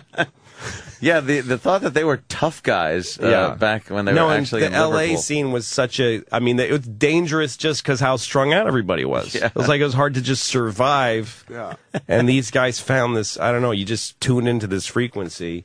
Yeah. I moved to this one Hollywood. note. I moved to Hollywood in September of '84, and um, they, there, there was the Summer Olympic Oli- Summer Olympics in, in Los Angeles in '84. September, the Olympic, Olympics were over. So I guess what happened was the cops had cleaned up Hollywood, pushed everybody out, the, the, the hookers mm. and, and the drugs and all that stuff, and they there must have been some events in Hollywood, and but I came right as the cops let down all the, the barriers. Oh, and- let everybody come that and the flood in. floodgates Yeah. were open. I, I had no idea. I was 19 years old, and it was just, it was just dangerous. I, I didn't live in a high rent neighborhood. Yeah. I lived in like the yeah the kind of the drags of Hollywood, and it was it was for real. I mean, it was it was on. It was it was dangerous. There was ghetto birds over my apartment every night. Helicopters. Okay, Uh, get and, you know, it. No, there was a time where you, you drove down Sunset and you had this feeling like if I got out of my car, I could get killed and nobody will find me for a while. really that bad? yeah, it was just seemed shitty and. Yeah, it was, yeah. CD. Real But you know, sad. and by the way, they came out of there, and it became one of them playing in the Super Bowl for five seconds. That only happened again, going back to our fucking earlier conversation, because of record stores in the eighties. Because some record store owner in Indianapolis said, "This sounds fucking hot. I think this will move if I put it out there." And it grew. That's why he was able to come from the the gutter up to mainstream was through that system. It's like you're. It's it's like a it's like a septic system or something. Yeah, that there's yeah. It's receivers. actually- And now, if you got to go directly Right. from your playing it to iTunes, you- like you have to go right to mainstream. There's no I- coming up as much Yep. anymore. I was living in Rochester and we got appetite from some guy in Arizona. It wasn't available yet. People were just kind of Yeah, you had to- trading you had it to go around. find that I don't shit. even know if it was a bootleg. I'm not even sure. Uh, That's why been the so reason it years now. excited me was because Right. I haven't heard this, and I don't It know where these fucking kids it got absolutely Yeah. wasn't in my local record store. Store, something that the, the kids at the time were just Yeah, the passing freshmen around. and sophomores then in if- my school got it at the record store in Harvard Square. And then they obviously changed the cover because you had controversy about the cover, right? If Yeah, I remember. so- and then yeah. it and then it was mass. It was in every record store in America. But at first, when I discovered you guys, it was because some dude fucking mailed it to us from Arizona. Yeah, that record was uh, out for a good year Before it we hit. Yeah, yeah, and they were about to pull us off. Off See, the and that's because the record stores like Louis. Yeah, because the record had legs because it was given some time to seep out through the system. And people went, what are those fucking kids that I'm a little afraid of listening to? Yeah, I think I'm. T- I, I think I'm too old now. But Guns N' Roses and Nirvana. When I heard Yeah. those two fucking bands for the first time, I was like, "Holy What is shit! that? What is going on?" And I haven't had that feeling since. But then again, I'm getting older, so maybe it's, it's passed me by. But Yeah, there, well, there is. I mean, I think the there, there's sort, sort of a disconnect now with with um, you know younger bands coming up, and I, I have a feeling something's going to happen. But there, you're right. There hasn't been that that one band that wow moment. polarized. Maybe there has been, but it just I just you know I'm in another world now. Yeah, I haven't heard of it. But I can't really think long of one off the top of my head that could have been, you know, Guns N' Roses, Nirvana, and then who was who was next after that? Yeah. Or are we That- still everyone's waiting? just still waiting for whatever Black Eyed Peas wants to do. like there isn't a there isn't that kind of like that's just- Darwinist thing in the music right, Right. now, where somebody else comes around and goes, Lady Gaga. forget everything you've ever heard. This is now Right. Yeah. Forget maybe everything you've ever like- heard except Madonna. Right. Oh, did you guys hear that thing? You probably did. Um, the um, what is it? Uh, Lady Antebellum, the the song that they won the Grammy for. Oh, yeah. I don't even know yeah, who that is. yeah. I don't even know what that sounds like. Do you know the song I'm talking about? I heard the song on the Grammys. Yeah. Did you? Okay, so Bob Rivers, he's a DJ. yeah, it's Seattle uh, guy. right? He he was the next day after the Grammys. He was driving to work to to his DJ job. Uh, he's a Seattle DJ Mm-hmm. now, um, and he he goes, "I know this song. I know this song is something else, and it's a um, uh, uh, uh, uh, Alan Parsons." Alan Parsons Project. It's and it, and he so he got to work and he put the two songs together. It's it's on the, the on that internet. Holy shit! Um, and it's exactly the melody. What Alan the- Parsons song? I don't know. You got it. Many songs it by Alan He's Parsons. bringing- we got it. We got Danny it will coming find. Has this come It's- out as it's- a big deal? And it won a Grammy. It won a Grammy. I think. Um, Alan- All right, that's the Lady Antebellum. Holy Oh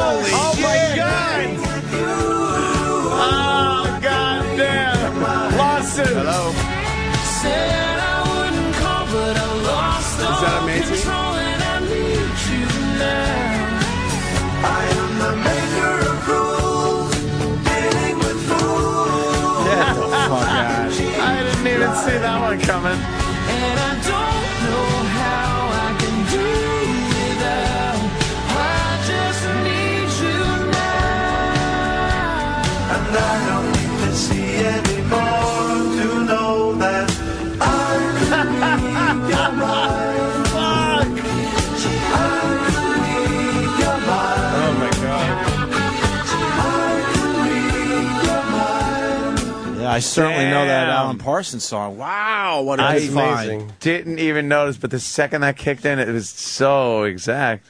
That's great. And as I mean, that's like so much even better than George, Har- uh, My Sweet Lord, and uh, yeah, yeah. Right. that's So- even more exact. Well, the uh, the uh, we were also it's talking even the same about fucking arrangement, yeah. right? Lady Gaga that- doing "Express Yourself." you. It's Yeah, that what- little. Lady Gaga does "Express Yourself." Well, that's it's fucking where you- Madonna's song. So what hap- What's going on there? mean, I don't know. She uh, do do you find do we have one of those? Is Alan Parsons project person going to get some cash for I, that? I, I You would think assume so. that I they're think looking so. into You it. want po- uh, Yeah, yeah. let's You don't want that a going in front of a jury. no, No. no, no. Wow. no. Let's, let's mama told me when I was young. Now, which one is this, and who gives a shit? Gaga. No, check it out. Gaga Madonna. See, at least this is twisted a little bit. yeah. The other there's, one there's, was there's- Hear it? there's a part of it that's exact. Yeah. This is Gave me a Gaga. glass of cover dry. Satin sheets are Nah, It's not fuck as good as that. the other one, but It's it's a it's yeah, it's a This guy, twisted. this guy didn't fucking do it. No, right. that that other one's ridiculous. sucks. That's amazing. It's the exact That other one same is- arrangement. You heard the George Harrison one though. yeah, yeah, You would think you could rip off Alan Parsons because who cares, you know? but that's one, you know, that's a Some popular guy, one. yeah, he's somewhere in Colorado. Like what? I heard. Oh, that's a drag, man. Can we get some cash for that? That's a drag, man. Okay, let's let's hear this one. Who are these people? This is Lady Gaga. And Someone might have just put it together wrong.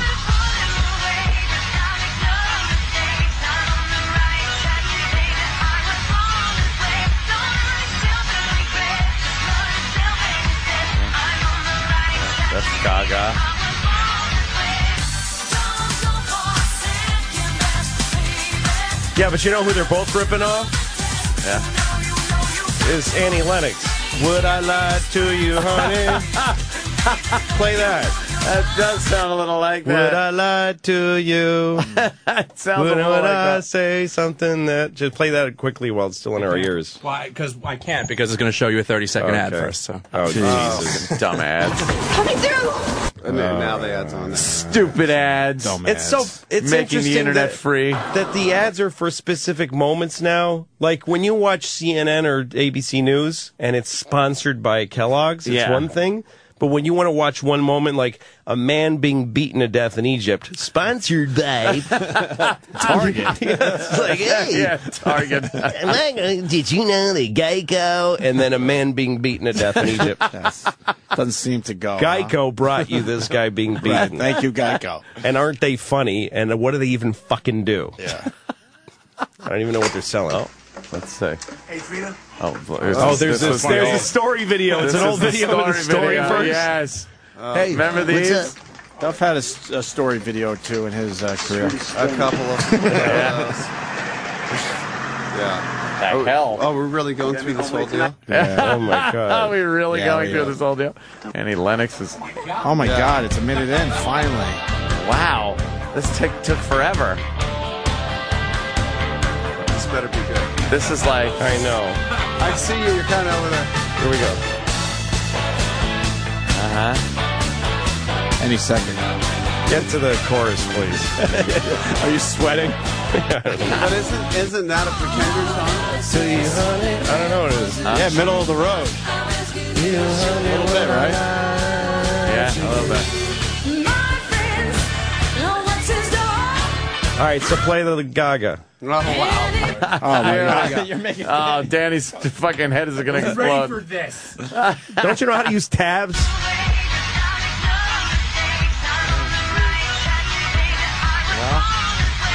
Would I lie to you?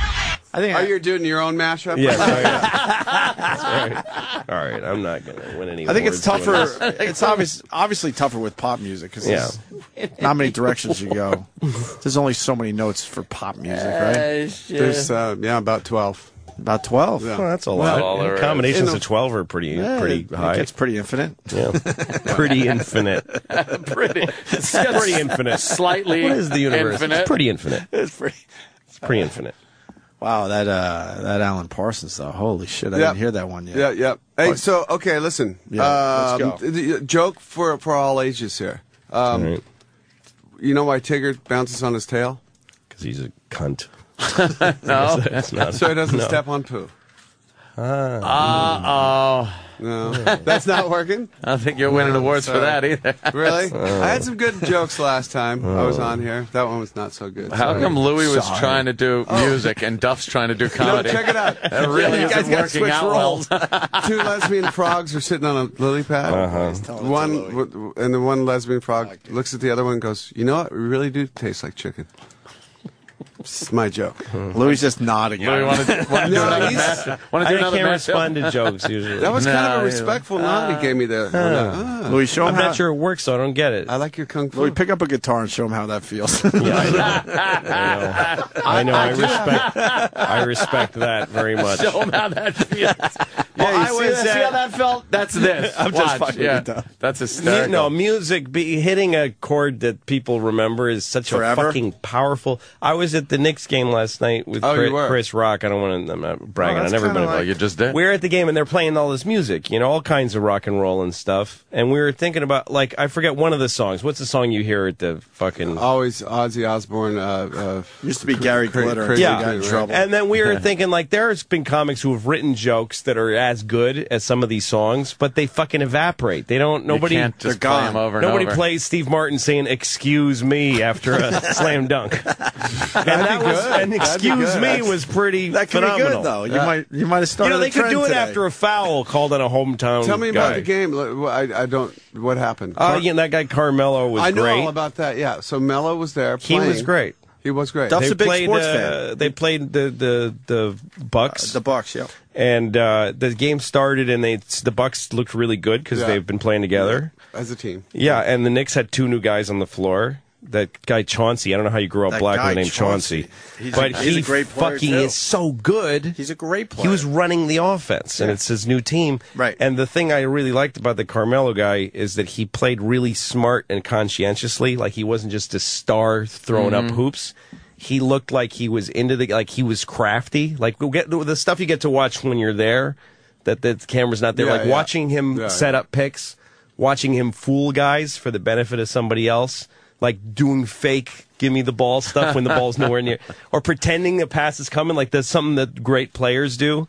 Because when your defender's looking at you, and then you pretend, oh, here comes the ball, and then the Yeah. guy turns around and you fucking dash. To the, like he did such cool stuff. Yeah. He looked like a guy who hoped he was playing well. He looked, you know what I mean? You look at a guy and it's like he doesn't look cocky. Mm-hmm.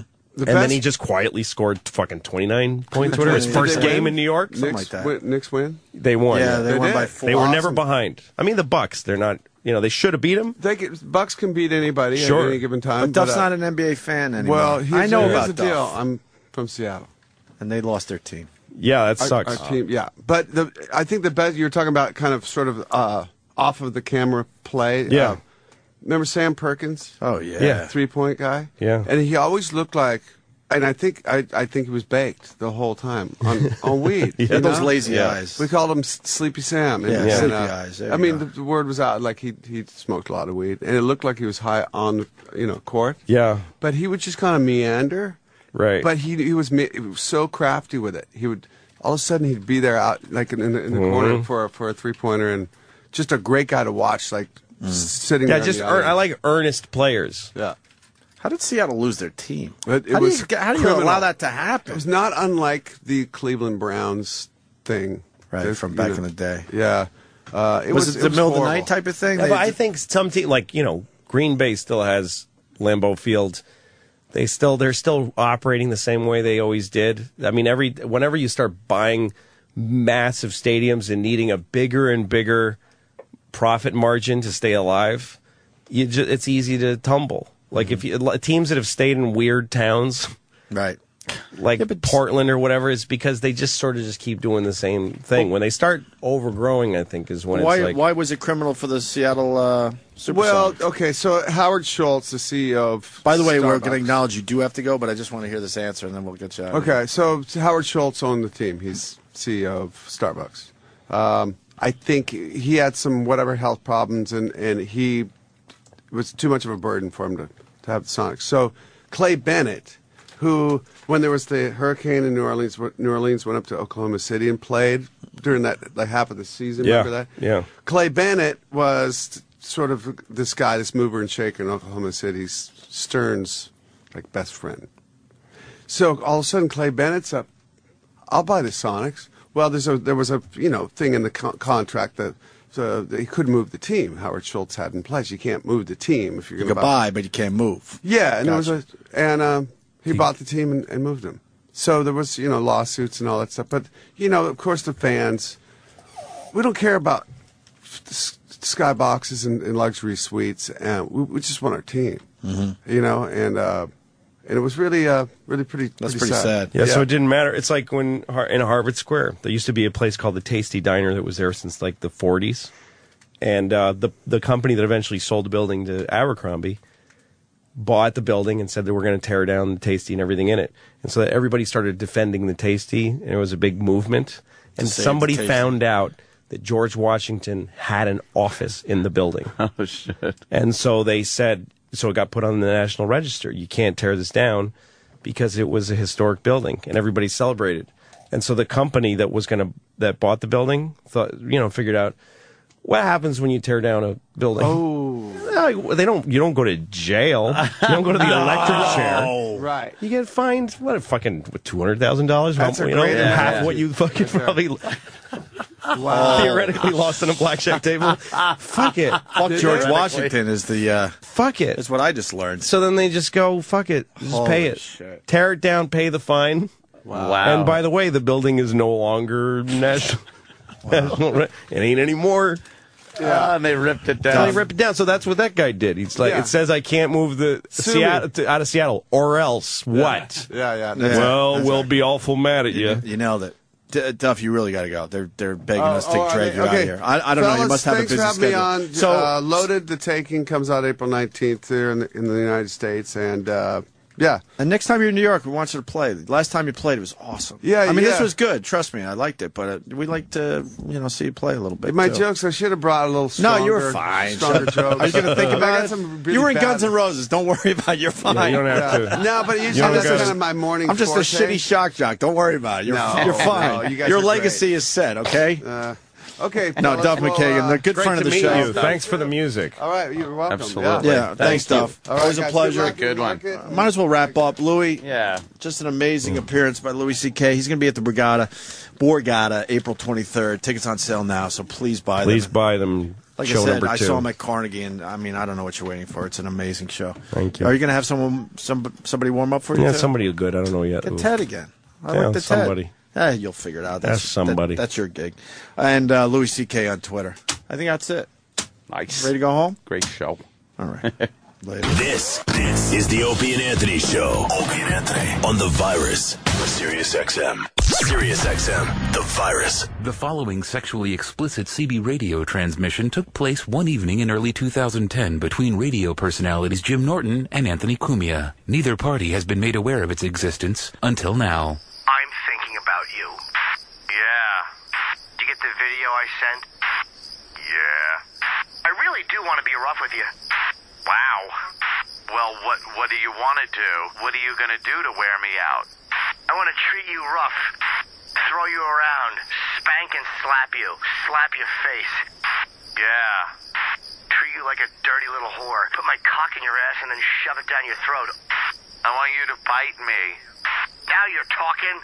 Then I'm going to tell you to shut the fuck up while I slap your face and pull your hair from making noise. Wow. I want you to beg for my cock. Yeah. Kiss you all over to convince me to let you have it in your mouth. We will see how bad you want me. Whatever else turns you on. Whatever I want, you are mine. You please me like no other has or ever will. I'm not losing that. Great thing is we have a lifetime of this. Okay, lights out. Good night, sexy.